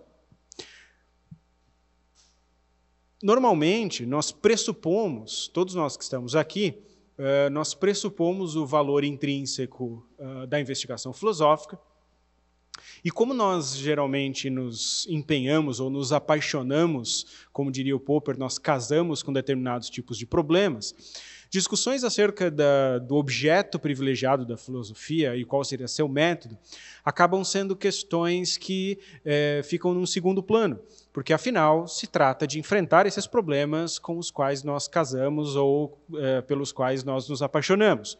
E isso parece dar uma falsa ideia que é, problemas acerca do objeto e do método da filosofia seriam questões secundárias é, ou então, uh, como diriam os, os americanos, a gente taken for granted. Assim, a gente toma elas como, como óbvias, como dadas, como garantidas. E que uma sistematização, uma, uma, uma, um, um questionamento acerca do que seria o objeto e o método, é, ou estariam, é, ou seriam questões de segunda ordem, às quais a gente não precisaria se dedicar, ou elas viriam simplesmente de uma posição é, crítica em relação à filosofia, ou seja, quem coloca essas questões são, é, por exemplo, as ciências naturais, é, a sociedade quando a gente está diante de problemas, por exemplo, se a gente deve ter dar dinheiro para a filosofia, aí a gente começa geralmente a dizer, se preocupar e dizer, bom, talvez a gente tenha que justificar o objeto e o método da filosofia, afinal a gente está perdendo bolsa, está perdendo dinheiro, está perdendo financiamento, os, os departamentos de filosofia estão sendo fechados por aí. Aí as pessoas falam assim: é, talvez não seja tão óbvio assim. E talvez valha a pena gastar uns 10 minutos ou 20 anos pensando nesse tipo de coisa. No entanto, de novo, não é o tipo de coisa que a gente costuma fazer e que a gente gosta de fazer. É, no entanto, a primeira coisa para a qual eu queria chamar a atenção é que esse tipo de, de preocupação, ele não só não é é, acessório ou externo à filosofia, senão que e, e, a, uma visão que acha que, que, que, toma esses problemas como acessórios ou como externos é parte de uma concepção muito ruim do que é propriamente filosofia. Eu gosto sempre de lembrar, na introdução à fenomenologia do espírito, o Hegel diz uma, uma, uma coisa que a gente não deveria esquecer para o bem e para o mal. O Hegel diz assim: a filosofia, infelizmente, não goza, como as outras áreas do saber, do fato de que seus problemas e seus métodos são autoevidentes. Né? Ninguém morre por causa de um problema filosófico, passa mal por causa de um problema filosófico, essa viga não cai por causa de um problema filosófico. É, ou seja, problemas filosóficos não são autoevidentes, assim como o, o, o que seria eventualmente o melhor método de enfrentá-los é igualmente não evidente. Dom se segue que problemas filosóficos e mesmo a questão sobre o método filosófico, ou quais os métodos filosóficos aceitáveis, devem ser eles mesmos construídos, e construídos a partir de uma reflexão que ela própria filosófica. Portanto, é, o fato de que a filosofia não goza como as outras ciências, como os outros saberes, do fato de que seus problemas e seus métodos sejam autoevidentes, deveria estar na base da nossa concepção de filosofia, da nossa perspectiva de filosofia e não ser colocada uh, para baixo do tapete como, uma, como um conjunto de questões colaterais, acessórias ou é, é, externas à nossa, à nossa preocupação mais imediata. No entanto, mesmo que a gente é, con, conquiste esse, esse essa, assim, que a gente esteja convencido dessa, dessa perspectiva, a gente está convencido de que problemas, de que o objeto e o método da filosofia não são autoevidentes, resta ainda é, que a gente, de fato, se dedique a ele. Isso significa, de alguma maneira, ser capaz de dar razões acerca do que a gente pretende fazer. Nós vimos hoje a tarde toda, veremos nos próximos dias, todos, todos os apresentadores estão enfrentando problemas sobre os quais aparentemente eles estão dando razões, num nível, de certo modo, num, é, é, é, razoavelmente superficial. No entanto, subrepticiamente, há um movimento ao qual é, todos nós estamos familiarizados e que deu origem, inclusive, a percepção desse tipo de movimento deu origem exatamente a um termo que é, foi usado na, na, na, na conferência é, algumas vezes, que é o termo metafilosofia. A palavra, o termo meta, o conceito metafilosofia aparece pela primeira vez numa resenha do Lazarowitz, de 1942, num livro do, do Cass. E ele cunha esse método, olha essa palavra, olha que interessante, para dizer exatamente, para apontar basicamente um problema que, como eu falava, todos nós conhecemos, a saber que aparentemente, muito embora todos os filósofos estejam enfrentando problemas filosóficos e todos de alguma maneira percebem a existência, concedem a existência de problemas filosóficos, parece não haver muito, muito consenso entre eles sobre, por exemplo, quais são os problemas filosóficos mais urgentes, quais são aqueles mais fundamentais, quais aos quais nós deveríamos estar nos dedicando de maneira mais uh, urgente e assim por diante. A ideia de uma metafilosofia, ou seja, de uma filosofia da filosofia, para usar o, o, o, título do livro do Timothy Williamson, é parte de uma constatação que todos nós aqui seguramente concedemos, mas que também o senso comum, as outras pessoas, os cientistas, a sociedade em geral, também compreendem acerca da filosofia, que é esses caras não concordam em absolutamente nada.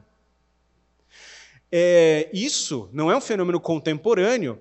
Lembrem-se do Descartes. O Descartes, o Descartes olha para a história da filosofia. A história da filosofia não é para ele uma história uh, sapiência, mas é uma história estultícia, né? É uma história de enganos. A história da precisamente porque a história da filosofia é uma história de incongruências. De novo, isso coloca uma outra camada ao que eu mencionava acerca do Hegel, que não só os nossos objetos e os nossos métodos não são evidentes, como parece que quando nós então vamos nos dedicar a eles, nós não entramos num acordo sobre quais sejam. A prova disso é que é, o nosso convidado acabou de apresentar pelo menos duas grandes, ou três, né, o Dali, uh, o Hescher agora ao final e, e a do Sheffer Landau e dos, dos outros dois, é, pelo menos três perspectivas acerca de como é, é, enfrentar ou, ou fixar problemas acerca de, de, de objetivo de, de objeto e de método. E ainda assim, nenhum de nós está plenamente convencido. Isso nos coloca dois problemas. Né? O primeiro deles, e aí eu quero desenhar uma coisa que eu quero tocar bola para ti de novo, mais geral e uma depois mais específica. A mais geral é: quando se trata, portanto, de nós, estudantes de filosofia, falarmos ou defendermos a filosofia é, exotericamente, ou seja, para fora, né, para as ciências naturais, para a sociedade, como uma forma de saber justificada, nós fazemos isso muito mal porque nós mesmos não temos muita consciência do que nós estamos fazendo. Ou seja, questões sobre objeto e método da filosofia não figuram entre as nossas preocupações mais essenciais, porque a gente as toma como dada e, é, é, esquecendo até do próprio Hegel, achamos que elas são auto-evidentes como, como, qualquer, como os problemas e os métodos de quaisquer outras, outras áreas do saber. Ou seja, nós somos muito ruins em oferecer uma visão cogente de filosofia como área de saber justificável. Nós fazemos isso muito mal. Dito de outra forma, filósofos são péssimos em defender a sua própria área. Porque a gente, no final das contas, embora passe 24 horas por dia pensando sobre isso, a gente faz isso também muito mal. Que a gente tenha que ter rios de tinta escritos sobre objeto e método da filosofia, e isso de, de, uma, de, uma, de um ponto de vista é, historicamente mais recente, né? o século XX, o século XXI estão sendo prenhes nesse tipo de coisa, mostra que a partir, do, pelo menos, da segunda metade do século XIX, com o boom das ciências naturais, a filosofia foi sendo excluída do edifício dos saberes e a gente não sabe muito bem ainda o que fazer sobre isso. Aquilo que era um problema na, na, na universidade alemã do final do século, do século XIX continua sendo o nosso. Sabe que é, é, há cartas e cartas de uma série de filósofos no século XIX, na Alemanha, dizendo assim: você sabia que a cátedra de filosofia, por exemplo, lá da Universidade de Heidelberg, agora vai para um cara que vem da psicologia? O Wundt. Né? E agora, o que a gente faz? Vão perder o emprego. Esse problema, você acha que você não tem emprego porque faz filosofia é recente? Tem 150 anos para começar. Com a diferença que lá eles pensavam melhor sobre isso do que nós. E de lá para cá, isso ficou prenhe, né? Tipo assim, a gente está preocupado com esse tipo de coisa e continua pensando muito pouco e pensando muito mal. No entanto, é, e aí a gente fica diante de questões é, como as que é, é o Rogério colocou aqui para gente. Por exemplo, se a gente estaria, se a gente vai então defender uma sorte de excepcionalismo da filosofia em relação às ciências naturais e às outras áreas do saber. A filosofia é alguma coisa, uma forma de saber excepcional em relação às ciências naturais ou, ou às outras ciências humanas? A filosofia é diferente das ciências naturais, ela é diferente da sociologia, né, das ciências políticas. Se ela é diferente, certamente quando eu perguntei isso, todo mundo pensou, é óbvio. Bom, de que maneira? Aí fica menos óbvio. De que maneira ela é diferente? Pelo objeto? Pelo método? A gente nunca está pensando nisso.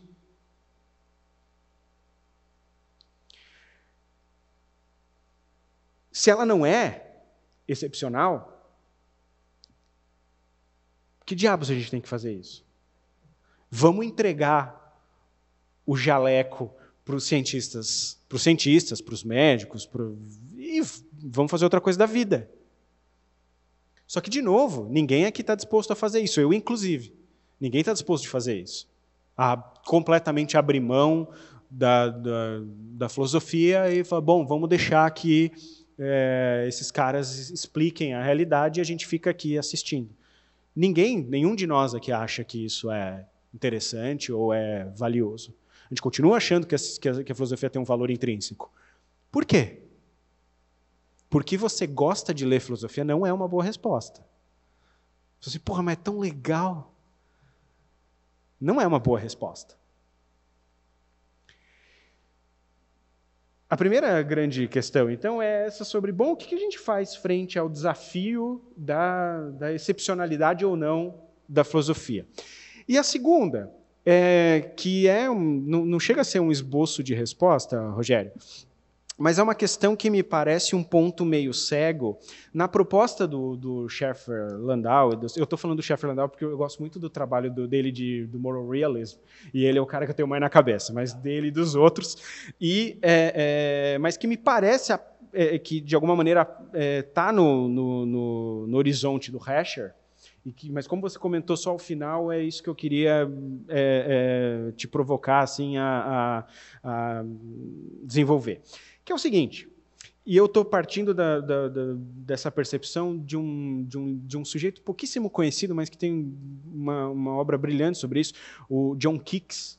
John Keeks tem um livro chamado The Nature of Philosophical Problems, que é maravilhoso, e ele é, coloca uma coisa que eu já acho que é um baita problema e que é, me parece interessante do ponto de vista de objeto e de método da filosofia, mas que parece um ponto cego na perspectiva do Landau e dos, dos, dos outros, que é o seguinte: bom, tudo bem. Filosofia parece ser tem um aspecto sistemático, como você falou, na medida em que ela é uma determinada captura de dados, em que dados têm um sentido não unívoco, ele é plural, ok? Tem um certo processamento e tem uns outputs, né? Então, nesse sentido, ok.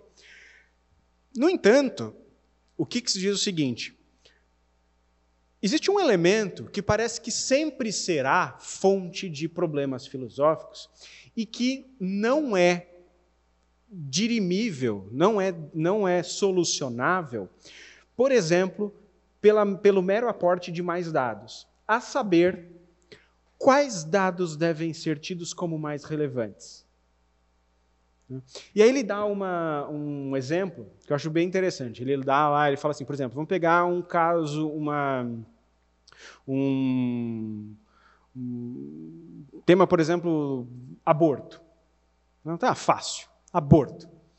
E eles dizem assim, ó, na sociedade, você tem, por exemplo, os médicos que dizem assim, olha, aborto é uma questão de saúde pública. Então é muito simples resolver questão de aborto. Né? Você tem uma série de mulheres fazendo aborto em clínicas clandestinas e tal. Cara, mas elas morrem por causa disso. É muito simples solucionar isso. Isso é uma questão médica de saúde pública. Então, vamos esquece questões morais. Isso não é relevante. O mais, o dado mais relevante é o dado sobre o que ele chama de modes of understanding, o modo de entendimento das, das ciências da saúde. No entanto, uma, vem um sociólogo, por exemplo, e diz assim: olha, mas a questão da ciência da saúde, como você falava quando falou da sustentabilidade, ela é condicionada por fatores sociais, por exemplo, que não são meramente fatores médicos. Eles são fatores econômicos, políticos, é, é, sociológicos, que, desculpa, o método, o modo de entendimento privilegiado para a questão do aborto, por exemplo, não é o médico, é o sociológico. Aí vem um, vamos pensar num filósofo ou num, num, num representante de, de alguma matriz religiosa e diz assim, olha, desculpa, legal, eu consigo entender, mas existe um outro problema aqui, que o que está em jogo, na verdade, é se é uma vida, uma nova vida humana ou não é, logo a questão é uma questão moral. E aí, por mais que eu entenda a dimensão, o entendimento sociológico e entenda o, entendimento uh, da saúde, há uma questão moral que é mais primitiva do que essa, e, portanto, isso é um problema moral. Ora, e aí o Kicks diz o seguinte: ora, como resolver isso, este impasse sobre qual é a dimensão, e poderiam, a gente poderia multiplicar essas três, né, mas qual dessas três é a mais primitiva, a mais importante, não é uma questão de angariar mais dados. Não basta ter mais input da ciência, mais input da sociologia ou mais input da argumentação moral. A questão filosófica de fundo é qual nós devemos privilegiar. Não se trata mais de. A gente não vai resolver isso com mais dados. A gente vai. Porque o problema de fundo é qual dado eu devo privilegiar. E isto é um problema filosófico que não pode ser resolvido por nenhum desses outros dados, porque o ponto é justamente qual dado eu vou privilegiar. Se, se eu vou, se eu vou é, é, conseguir sustentar que isso é predominantemente um problema moral, ou predominantemente um problema sociológico, ou predominantemente um problema de saúde, ou qualquer outro que você queira colocar aqui me parece um pouco naivo, por exemplo, a perspectiva deles, de dizer assim: olha, tudo bem, o problema só aparece quando eu estou passando dos dados para a teorização. É que é ali que surgem as incongruências e tal. Na verdade, para mim, parece muito mais primitivo. Porque a filosofia lida, como para usar a expressão do Gelley, com, por exemplo, conceitos essencialmente contestáveis. A gente não, não sabe nem, na real, porque essa discussão é assim, bom, então talvez, pra, será para a gente decidir se a questão lá do aborto é primeiramente moral, aí você falou em vida humana, bom, o que é vida? O que é um ser humano? E aí, no final das contas, antes, inclusive, de escolher quais os dados, a questão é que a gente não tem nem claro quais são os dados mais primitivos, do que eles são compostos, do que onde a gente deve ir. E, de novo, as ciências não, absolutamente não têm nada a nos dizer sobre isso. Nada. Isso é um problema genuinamente filosófico. Como a gente vai lidar com eles é outro, é a questão de método é outra história. Logo, o problema filosófico não aparece como eles sugerem na passagem dos dados à teoria, senão que na própria, entre muitas aspas, coleta de dados. Uh, Rogério, o que eu, as duas coisas que eu queria te colocar para a gente começar e conversar é assim: primeiro, é, como que na tua visão sobre as questões de objeto e de método, como fica o lugar da filosofia frente à suspeita epistêmica que, que, que a ronda? Né? sobretudo contemporaneamente, sobretudo face às ciências naturais, mas não só. E segundo, é... não te parece que uh, uma discussão sobre objeto e método deveria prestar mais atenção sobre a gênese dos problemas filosóficos, como eles aparecem para nós. Porque eles não parecem simplesmente na mera coleta dos dados da realidade, seja os dados do senso comum, ou experimentos teóricos, ou é, é, os próprios dados das ciências. Porque até a etapa da coleta pressupõe decisões filosóficas. O que você pensa desses dois pontos? Tá. Pergunta quente, né? É, sobre esse caráter, digamos, você usou um termo aí, é, da filosofia. Excepcionalismo? É, é o excepcionalismo, é. Uh, eu tendo a não. Eu confesso que eu não, nunca pensei muito sobre isso, mas eu sempre tento encontrar. Eu dei aula na engenharia também, então tinha esse problema de justificar a importância e a relevância da filosofia. Eu dou na medicina. então, aí então bem-vindo. E, e é o mesmo tipo de problema, né? E a maneira que eu encontrei, né, de circunscrever isso é que é, bom, primeiro que não é verdade que a ciência é completamente afastada do fazer filosófico. Né? Eu sempre dava como exemplo a teoria da relatividade do Einstein, que de física mesmo não tem nada. Ela é uma mudança filosófica na compreensão do conceito.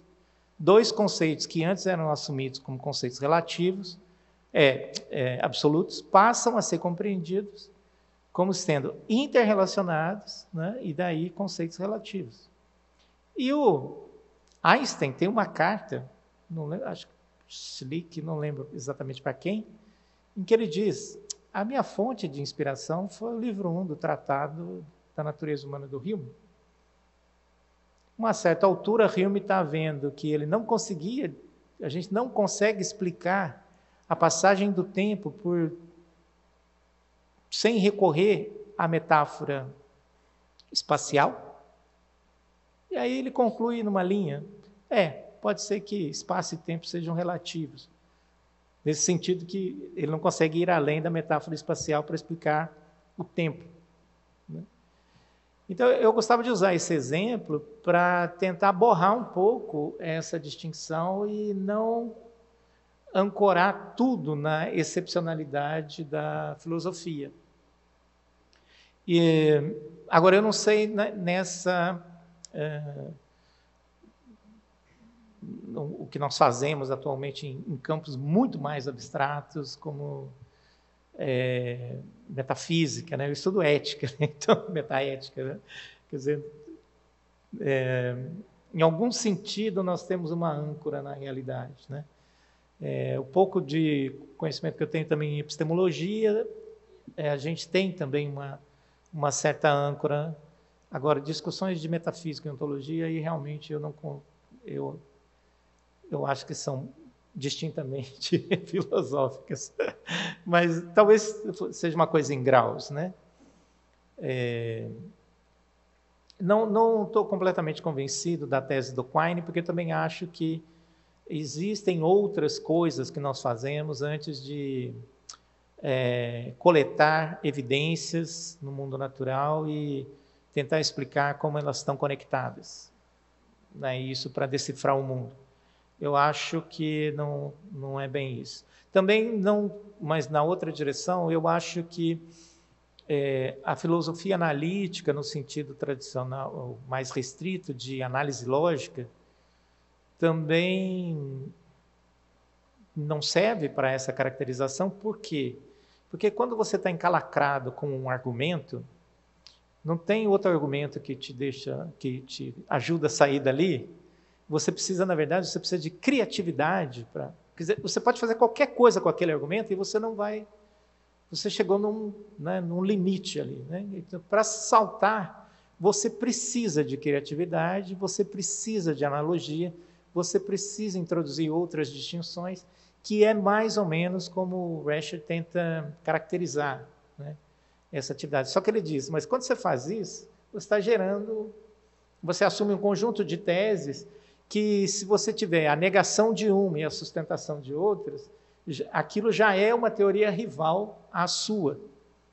Né? Então, e frequentemente essas teorias filosóficas precisam endossar mais de quatro ou cinco teses. Quer dizer que, por combinação, você tem as posições extremas, mas você também tem um leque imenso de possibilidades no meio do caminho, para que é uma questão de combinatória aí, né? Acho que é interessante essa abordagem do Rush, e, e que não estão ainda é, totalmente elucidados é, e para os quais ainda não existem argumentos bem formulados, né? porque nós nos preocupamos com os extremos. Né?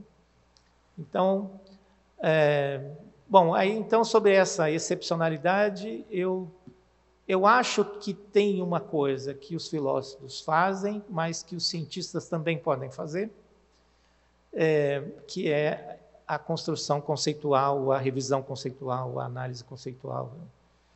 É, isso é útil para filósofos e para cientistas. Por quê? Porque quando os cientistas não têm o aparato conceitual apropriado, ele diz que aquilo não é um problema científico. Mas continua sendo um problema, é o seu ponto, né? Mas aí eu acho que é indistinto. Ele é um desafio para a racionalidade humana. Você pode preferir as ferramentas ou os requisitos de racionalidade da ciência ou da filosofia e aplicar para ver o que é, é mais efetivo, né? Mas ainda são aspectos que demandam razões. E esse, esse eu acho que é o ponto forte. E aí, tanto faz se é filosófico, ou se você interpreta como filosófico ou como científico, não, não faz diferença. O que precisa ter ali é apresentar razões, você tem que aduzir razões. Né? De, inclusive, por que, que alguns é, fatos são mais relevantes, ou eles, é, eles adquirem um, um aspecto, né? dependendo da da maneira como você pensa o conceito, é, alguns aspectos são destacados, né? E, e, a gente cuida principalmente desses aspectos que são priorizados ou destacados pelos conceitos. É, é em relação a eles que nós temos que dar conta.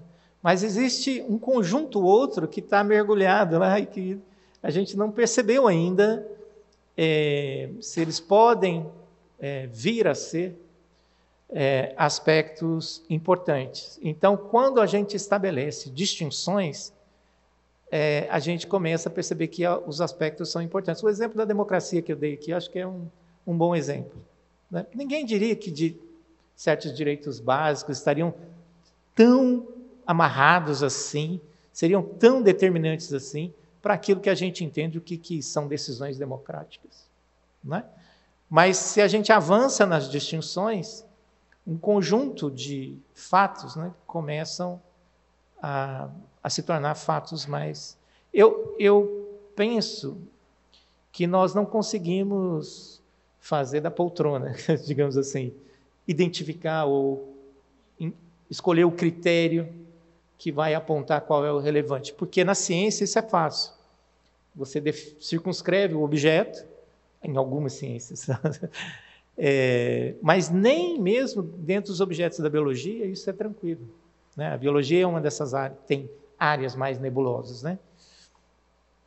Então eu penso, bom, acho que isso é uma tentativa de responder essa provocação, que eu agradeço também, que me permitiu é, pensar um pouco. Agora, se, né, se tem uma distinção entre ciência e filosofia, eu acho que é uma questão de de oferecer suporte a, a, razões. O que eu achei persuasivo no texto do Schaffer Landau, do Cunil e do, do Bankson, John Bankson, que é esse livro sobre é, metodologia da filosofia. É um livro de 2022, esse que eu apresentei uma análise aqui. É, e eu achei que ele, um pouco na linha do Nozick, captura algo da nossa tentativa de de dizer como que poderia funcionar uma filosofia, uma teoria filosófica, né? que é, ultrapassa ou contorna bem, digamos assim, as limitações dos métodos tradicionais. Né? Eu não estou falando dessas abordagens mais presas a como o, o Rescher e o, e o Neil falam, presas a contextos, né, que são abordagens que, digamos assim, que é a moda da, da, do momento e tal, né? É, eu não estou desqualificando por causa disso, né? O que a gente está tentando aqui é pensar sobre essas esse posicionamento muito mais ousado e desafiador, né? Que talvez seja a dignidade da filosofia, esteja nisso e tal. Tem gente que acredita que não, né? Tem gente que pode entender isso como, ah, talvez como uma terapia, como um exercício um pouco sem sentido e tal, né? Para saciar a nossa curiosidade, coisas assim. Eu não concordo. Eu acho que a, tarefa filosófica, talvez por estar muito mergulhado na reflexão, na tradição utilitarista, eu acho que a reflexão filosófica ela tem uma utilidade, sim. Né? Um, é, um exemplo que eu, eu gosto de dar também no aula de bioética é contestar a ideia de que em algum momento a fadinha da ética apareceu para os médicos e disseram, a partir de agora, depois de Nuremberg, por exemplo, agora a ética importa. Né, e, tal. e aí, analisando, é, a partir de uma abordagem socioeconômica, né, por exemplo, do Marx, é, eu tentei explicar a emergência dos problemas em bioética, né? que não tem propriamente a ver com limitações da filosofia, ou que não tem propriamente a ver com é, é, a crise dos valores ou coisa que o vale. Se você entender que o processo socioeconômico é movido por introdução contínua de tecnologia, que visa a aceleração do sistema e a criação de novas fronteiras de lucratividade, a tecnologia é inescapável na nossa sociedade. Só que a tecnologia ela tem um efeito trágico, digamos assim, para a nossa a nossa mente filosófica, que tenta conservar conceitos.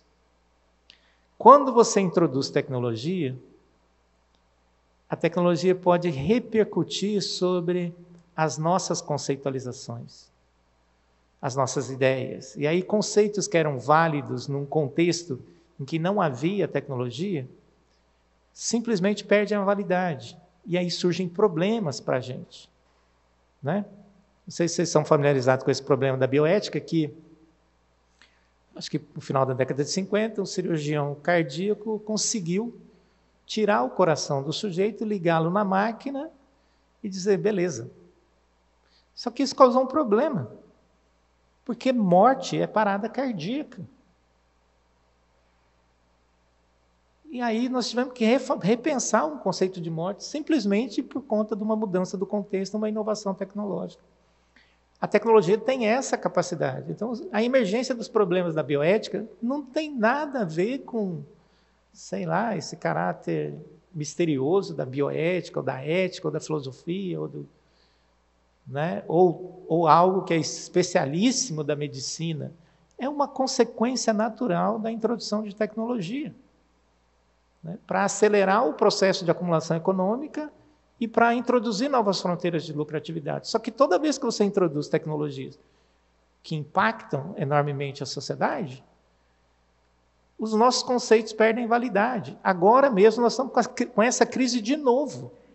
Quando a gente desenvolve sistemas de monitoração contínuo, quando a gente desenvolve capacidade de memória, e quando a gente desenvolve algoritmos de análise estatística e sensores mais e mais precisos para monitorar o cérebro, as nossas ondas cerebrais não são mais suficientes para dizer que o sujeito morreu, porque elas continuam lá. Tá certo? Muito depois de que, no, no nosso entendimento, o sujeito já está morto. Tá certo? Então, nós estamos passando pelo mesmo problema novamente. E quanto tempo foi isso? Década de 50 até agora, 70 anos, nós estamos nós lá de novo reformulando o nosso conceito de morte, porque não, por uma inovação tecnológica. E isso, né, e como que a gente consegue enfrentar problemas desse tipo? Aí talvez o aspecto pragmático que eu tenho alguma afinidade com o Vescher, né, né, nesse sentido da pragmática. Né? É, vamos debruçar sobre os conceitos, vamos estabelecer novas distinções, vamos né, precisamos minimamente é, um esboço de um método, como o Bengtson e o que o Neil e o Schaffer-Landau tentaram fazer, que eu, que eu acho relevante. É problemático, sim, mas já é um passo. em linhas gerais era isso, não sei se... Obrigado, Rogério. Vamos passar, vamos abrir as perguntas, tanto do pessoal que está aqui quanto do pessoal que está uh, acompanhando online. online. Por favor, fiquem à vontade, um de cada vez para não tumultuar.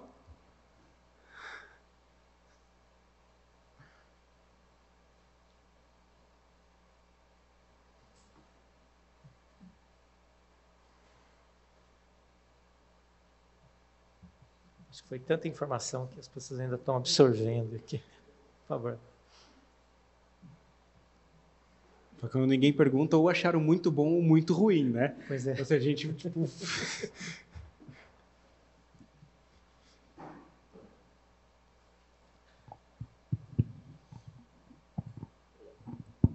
Professor, uh, acho primeiramente brilhante a apresentação. Uh, o senhor comentou, estavam debatendo aí agora sobre problemas de natureza científica, não científica, alguns problemas fogem do escopo do método científico. Uh, tem a possibilidade de algum problema fugir do escopo do método filosófico ou é uma ciência que não se dá ao luxo de poder permitir esse tipo de coisa? Obrigado.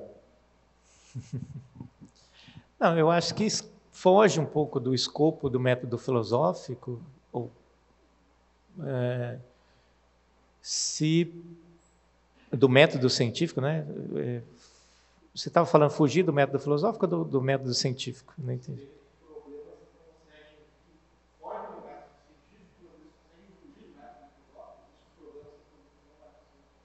Ah, entendi.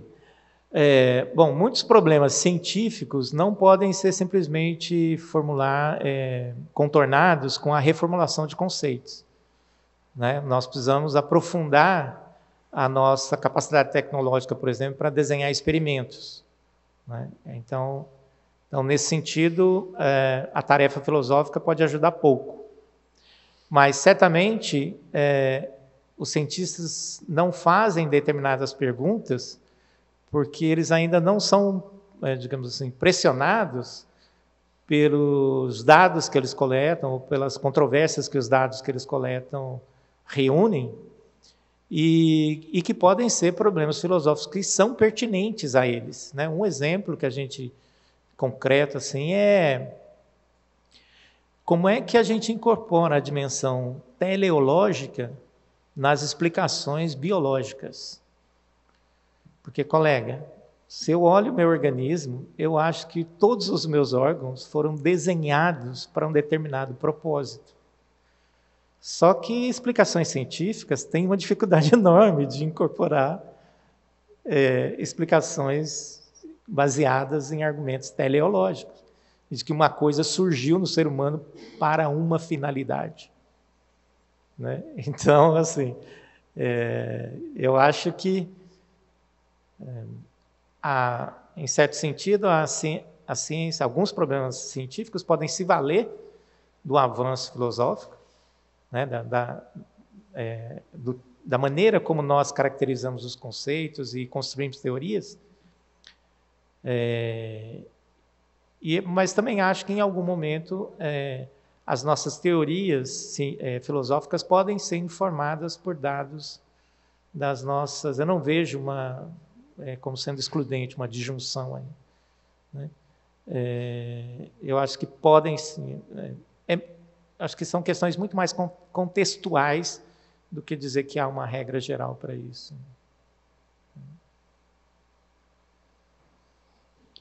Letícia. Uh, obrigada pela sua fala. Uh, eu tenho uma pergunta que, na verdade, uh, eu queria saber como que tu vê, né, a partir dessa, dessa exposição, uh, uma outra tentativa de responder o que seria a filosofia ou uh, qual seria a sua seu objeto, seu destino, uh, que seria a concepção de filosofia como forma de vida que a gente encontra em Pierre Hadot. Eu queria entender uh, como tu vê, se tu acha que é uma boa explicação ou não seria suficiente, enfim. Entendi. É, eu acho que essa visão, é, tanto a do Hester, que foi formulada em 85, o livro dele é de 85, quanto essa mais recente, elas são tanto ecumênicas, elas não são excludentes. É, mas eles assumem que a atividade filosófica é principalmente fazer teoria. Né? Eles apresentam algumas razões, é, não são totalmente convincentes as razões de por que seria, né? por que, que a teoria tem essa pressão. É, talvez eles, eles defendam que as questões filosóficas são essas de fundo para a gente e que elas pressionam a gente para encontrar uma solução. Tem uma pressão especial delas, porque elas são reformuladas, reapresentadas continuamente. A gente acha que respondeu, mas daqui a pouco vem, ela volta com uma outra roupagem, né? É, então, é, eles dizem, olha, nós estamos privilegiando esse aspecto, mas isso não é incompatível com uh, outras visões sobre a filosofia, né? sobre a filosofia como uma forma de vida, por exemplo. Né? Tá? Tem uma pergunta no chat aqui do Logan. Perfeito. Eu vou ler para o professor. Tá. É, nas questões filosóficas, o senhor considera superada a relação sujeito e objeto à moda de Wittgenstein? Entende que a filosofia deve pensar em termos de sistema à luz das ciências naturais? Isso traria objetividade à filosofia? Perfeito, não entendi exatamente. Então, todos esses autores que eu abordei, eles tentam escapar dessa armadilha do Wittgenstein, de achar que a filosofia não é essa, não pode aspirar, ou não faz sentido que ela aspire a isso, a essa formulação teórica, essa elaboração. Né? É, eles consideram uma, uma certa forma de, é, de redu, redutivismo e de é, uma uma tentativa injustificada de contornar a pressão das questões filosóficas. Então, eles acham que a gente teria boas razões ainda para perseguir a tarefa da teorização. Né? Nós seria muito cedo, digamos assim, para abandonar, né? E, e que comparativo, talvez para as, que, as questões muito de fundo, né? Ou as questões que envolvem uma alta complexidade, a gente, ou muito abstratas, metafísicas, né? a gente de fato não tenha ferramental para atacar isso. Então, talvez, é, como acontece na metaética recentemente, né? o quietismo seja uma, uma alternativa, né? você não se engajar com questões metafísicas, mas isso não quer dizer é, que a formulação de conceitos, ou refinamento, a, a, a proposição de distinções seja inútil ou menos importante, porque nós não conseguimos atacar os problemas de fundo. Né? Isso me lembra muito o Hume. É, acho que eu tenho um aspecto humeano. Eu gosto né, muito do Hume, estudo o Hume. Ele tem um aspecto é, que ele fala, ele estava querendo fugir das questões metafísicas, ele fala, olha, esses problemas de causa primeira, causas últimas das coisas, eles são sempre problemas muito intratáveis. Por que, que a gente não faz o seguinte? Por que, que a gente não estuda mais os efeitos e classifica e entende as interconexões que existem a partir do estudo dos efeitos? Vamos esquecer um pouquinho das causas últimas. Quer dizer que isso é uma pretensão muito né, grande, assim, talvez está fora do nosso alcance. Né? Então, então é, não creio que o Wittgenstein esteja completamente equivocado, mas tratando, é, esteja completamente errado, digamos assim. Mas eu, eu, eu, tendo a pensar que é um certo derrotismo. E eu continuo insistindo, talvez por essa minha origem nas ciências naturais, eu continuo insistindo que é que funciona, tá certo? Eu dei dois exemplos para vocês aqui: sustentabilidade e, e, e democracia. Eu poderia dar outro exemplo, que é o de é, O problema é que a gente tem muitas noções do que é a liberdade e elas, por incrível que pareça, parecem ser irredutivelmente é, não conectadas. Né? É, liberdade como não dominação, liberdade como não coerção, liberdade né, positiva no sentido da vontade. É, se a gente examinar as diferentes concepções de liberdade, a gente não há nada que leve a gente a pensar que elas estão conectadas. Por nenhum caminho a gente consegue mostrar a conexão, a não ser dizer assim uma classificação muito genérica, né, de que elas podem ser positivas ou negativas, mas, né, é, eu acho que isso também nos é útil em algum sentido, né, perceber essa dificuldade que a gente tem com a nossa noção de liberdade. Por quê? Porque apesar de ser conceitos é, disputados e como conceitos normativos normalmente são derrotáveis, ninguém diz que é pouco importante discutir liberdade. Né? A gente teve uma experiência trágica aqui no Brasil. Eu tenho uma pergunta. Alguém levantou a mão?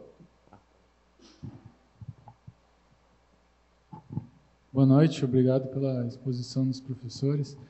É, eu, a minha primeira formação é na área de sistemas, eu estou no terceiro semestre do mestrado. E eu confesso que uma das coisas que, que eu bati cabeça foi talvez essa, que nem o professor Gabriel falou, não haver concordância de método, né? Então, me faltou, por mais que existiam orientações, elas eram mais genéricas, mais abstratas, elas eram, são todas orientações filosóficas, mas não um método, digamos assim, formal. O senhor falou a questão do método e também da criatividade. Né? E a conclusão que eu estou chegando aqui, que talvez o fato dessa não concordância de método, é porque talvez o método da filosofia seja um meio termo entre uma receita, entre seguir uma receita de bolo e um pintor ou um poeta que um pintor vai desenhar um quadro ou um poeta vai escrever uma poesia que tem uma inspiração Parece que o método fica ali entre. tem que ser um pouco criativo e metódico. É. E eu acho que essa talvez a dificuldade de conciliar essas duas esferas. Não sei. Perfeito, não, só coloco, agradeço uh, o comentário, né? É perfeito. É, eu acho que é o ponto que o Gabriel levantou, que aparece lá e que o, o, o dele não aborda, quando ele fala da, da coleta de dados, que o Cunil, o Schaffer-Landau e o, o eles passam por cima, assim, bem rapidinho, por, é, embora eles reconheçam que a gente precisa de uma, uma técnica heurística, aplicação de uma técnica heurística para identificar o fato relevante. Né? Esse que é o problema de fundo que o Kex é, formula, né? que ele acha que esse problema é, é, sobre o que os filósofos tinham que mesmo que debruçar com força e tal. É, esses autores que eu, que eu mobilizei aqui, eles têm mais uma vertente pragmática. Assim, eles acham que, ah, no limite, talvez é, a gente tem que juntar as melhores ferramentas que nós temos para tentar atacar. E se o resultado o resultado que, que a gente conseguir, se ele está bem balizado em certos parâmetros, esse vai ser o melhor resultado e não adianta a gente querer ter muita aspiração, né? Então, eu acho que isso que você está falando, esse intermediário, é, é um pouco isso, a mobilização dessas técnicas heurísticas, de, né? Uma coisa que a gente faz, por exemplo, né, que a gente explora muito pouco, é o uso de analogias, né, de transpor analogias de uma área para outra, né, com um, é de uma riqueza imensa e tem, e tem várias né, técnicas né, para construção, não só de analogias, mas também de metáforas. Né? As metáforas são poderosas. Essa brincadeira que eu falei da sustentabilidade, é, a metáfora do consumo e a metáfora do alimento captura perfeitamente a distinção entre as, as noções, a noção mais profunda da sustentabilidade, mais complexa, e a noção mais superficial economicista, né, da sustentabilidade, né? Porque né, então assim, é, se, se, um ambiente é um só, é, as coisas vêm de algum lugar e vão para algum lugar, né? Tem um videozinho na internet que chama De Onde as Coisas Vêm, um videozinho de 10 minutos, que trabalha exatamente essa questão, de que a metáfora que a gente usa para compreender a nossa relação com o meio ambiente é todinha baseada no consumo. Ou seja, é uma metáfora de fogo. As coisas vêm e desaparecem. Né? Elas vêm do nada e desaparecem do nada. Mas não é isso que acontece. Elas vêm de algum lugar e vão para algum lugar inescapavelmente. Então, a metáfora é uma ferramenta também intermediária, que eu penso, né, entre, sei lá, essa ah, eles não excluem a possibilidade da intuição também. Né? Então, todos eles consideram que. É, só que alguns tentam pensar que você precisa ser, digamos assim, não, é, você precisa experimentar formas de desafiar é, é, a intuição, né? ou as nossas, ou a maneira como nós é, chegamos às intuições, né? como elas aparecem. Talvez, talvez elas precisam ser provocadas de algum modo. Né? Então, metáforas é uma excelente maneira. Experimentos de pensamento é uma excelente maneira de pensar. Né?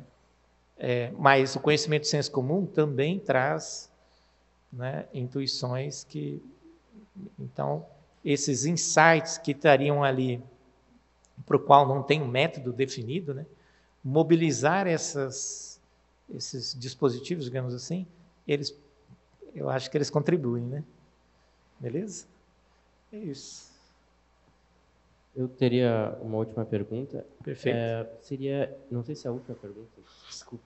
Uh, a minha questão é em que medida a noção de progresso filosófico ela é importante para a questão de justificação do objeto e da, do método da filosofia. É porque a gente poderia pensar que mesmo que a filosofia tenha um, uh, mesmo que os problemas dela só ela consiga lidar e não as outras áreas, se esse método e esse objeto não entregam um certo progresso, um certo resultado, poderia ser contra-argumentado que, bom, uh, tudo bem, vocês têm o campo de vocês, mas ele parece que não é competitivo, ele parece que não é epistemicamente tão forte quanto as outras ciências. Então, a gente poderia, por exemplo, perder força no, na escolha de critério de dados.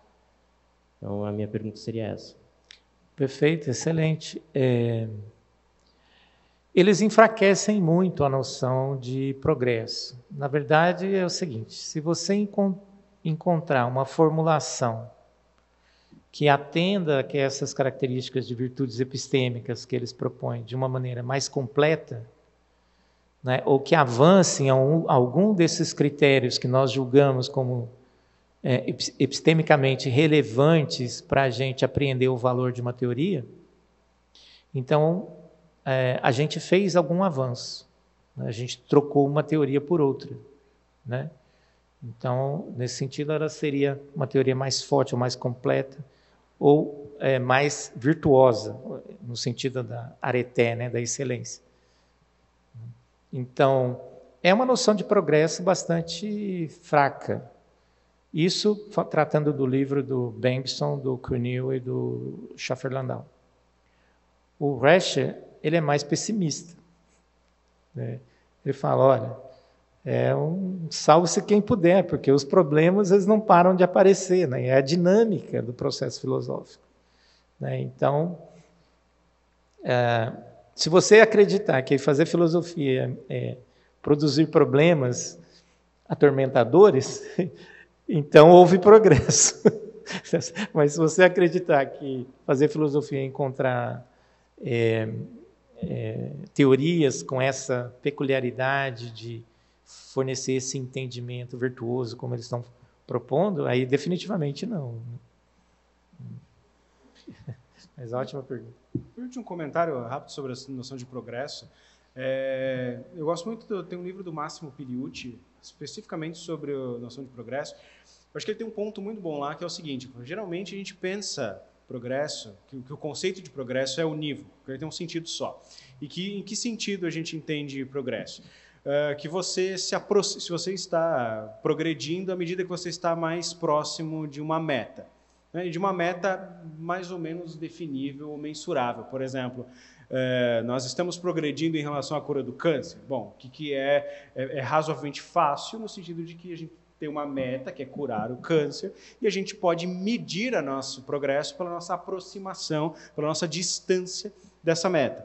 Mas tem uma, um outro sentido de progresso, que o te é, coloca, que é o seguinte, tipo assim, se você chegar a um compositor, por exemplo, de música mesmo, né, ou um pintor, e pergunta para ele assim, você está progredindo no seu trabalho? Ele vai te dar uma resposta, se sim ou se não, que não tem a ver com uma visão a priori de como deve ser o quadro final ou a música final. Correto? Ou seja, e é, e é, e é de alguma maneira mensurável, ele não está mentindo quando ele fala, se você perguntar para um, um pintor, você está mais próximo ao fim da sua obra do que não? Né? Ele vai te responder sem mentir, sim ou não disso não se segue que ele saiba a priori como deve ser a música ou como deve ser totalmente o quadro, e ele está respondendo à medida que ele está mensurando essa distância. Então o Biliut fala assim, a, o progresso, a filosofia faz progresso na medida em que é como se você, como um jogo xadrez progride, como uma pintura progride, que você vai ampliando o escopo de coisas, por exemplo, assim, hoje a gente concebe coisas, mais coisas e melhores coisas é, do que a filosofia do século XVI. Não se trata de saber, então, portanto, se a gente está mais próximo de um fim, de uma meta, senão que, de novo, como na metáfora, para usar a metáfora, se na metáfora do pintor ou do compositor, nós estamos alargando e estamos nos aproximando, ainda que a gente não saiba uma meta. Eu acho completamente defensável que a filosofia progrida nesse sentido.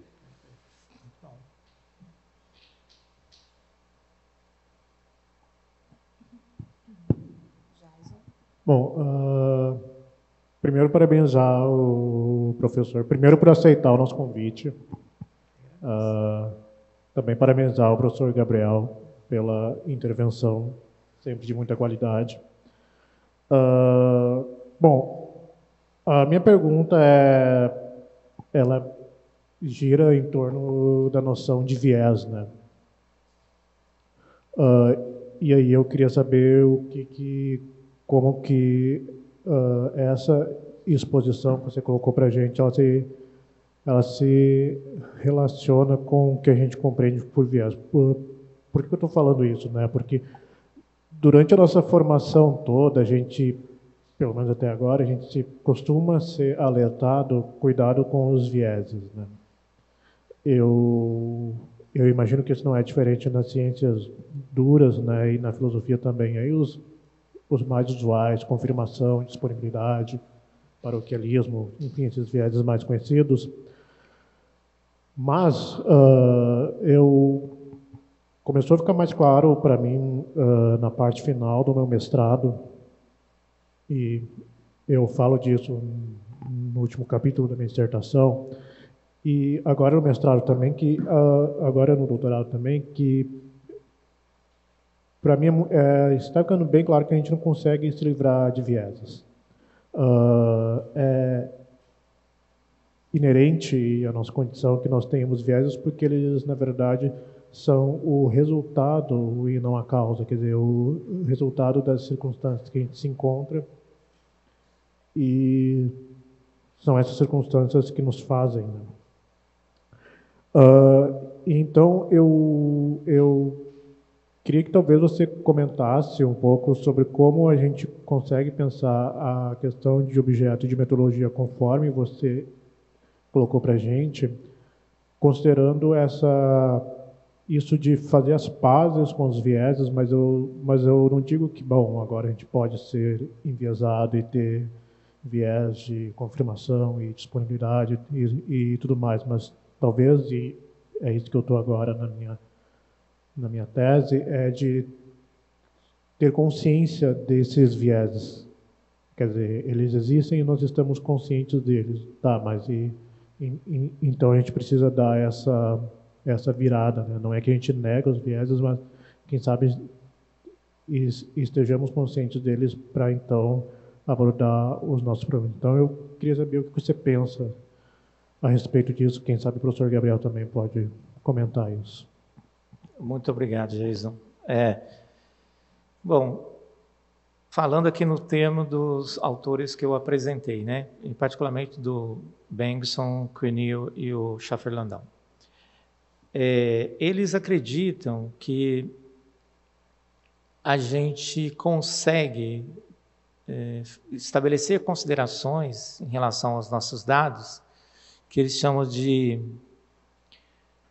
é, considerações desabilitadoras. São aquelas considerações que derrotam uh, a, a, certos dados pelos quais nós nos encantamos, digamos assim, e aí nós tendemos a olhá-los de uma maneira muito enviesada. Né?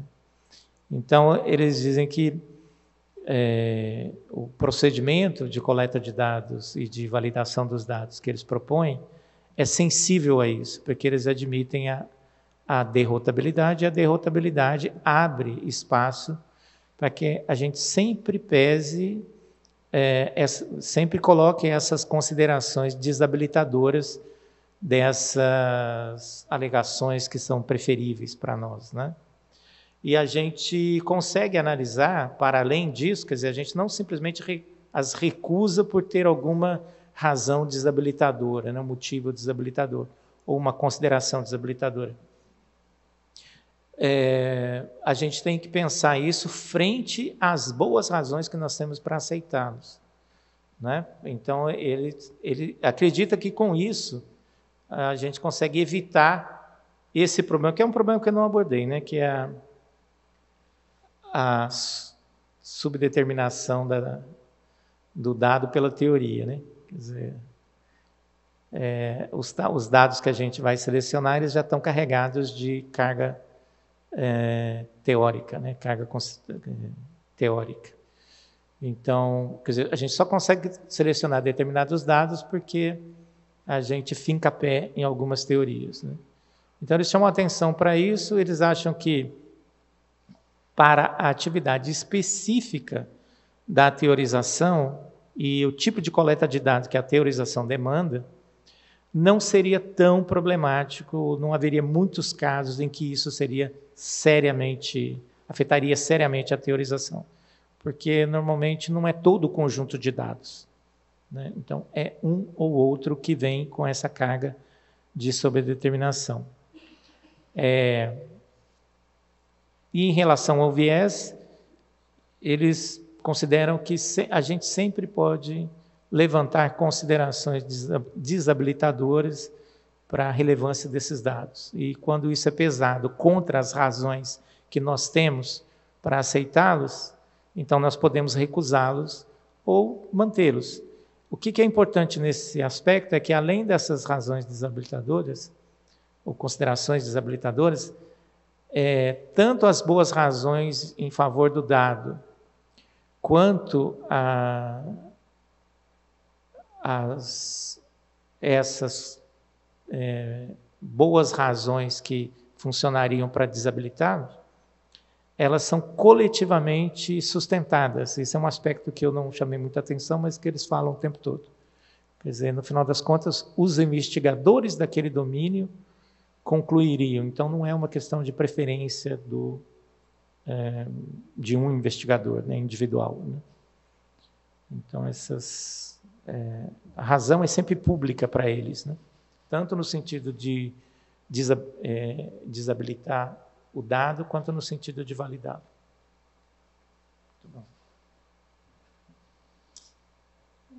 É, devido à hora, né, a gente vai encerrando. Muito obrigada, uh, professor Rogério. Gabriel, pelo excelente debate. Agradeço a todos aqui presentes, os que estão online também. Faço uma correção, que é a transmissão está sendo feita exclusivamente pelo Teams e depois aquela vai para o YouTube. E também deixar o convite para as comunicações de amanhã, de manhã à tarde, e para a conferência de amanhã à noite, né? À noite a gente vai ter o professor Marco Antônio Azevedo, aqui da Unicinos, e o professor Evandro Barbosa, da UFPEL, uh, com a conferência Rumos da Filosofia Moral Aplicada em Pesquisas de Ética e Bioética. Excepcionalmente, amanhã a conferência começa às 19h45. Muito obrigada, boa noite a todos.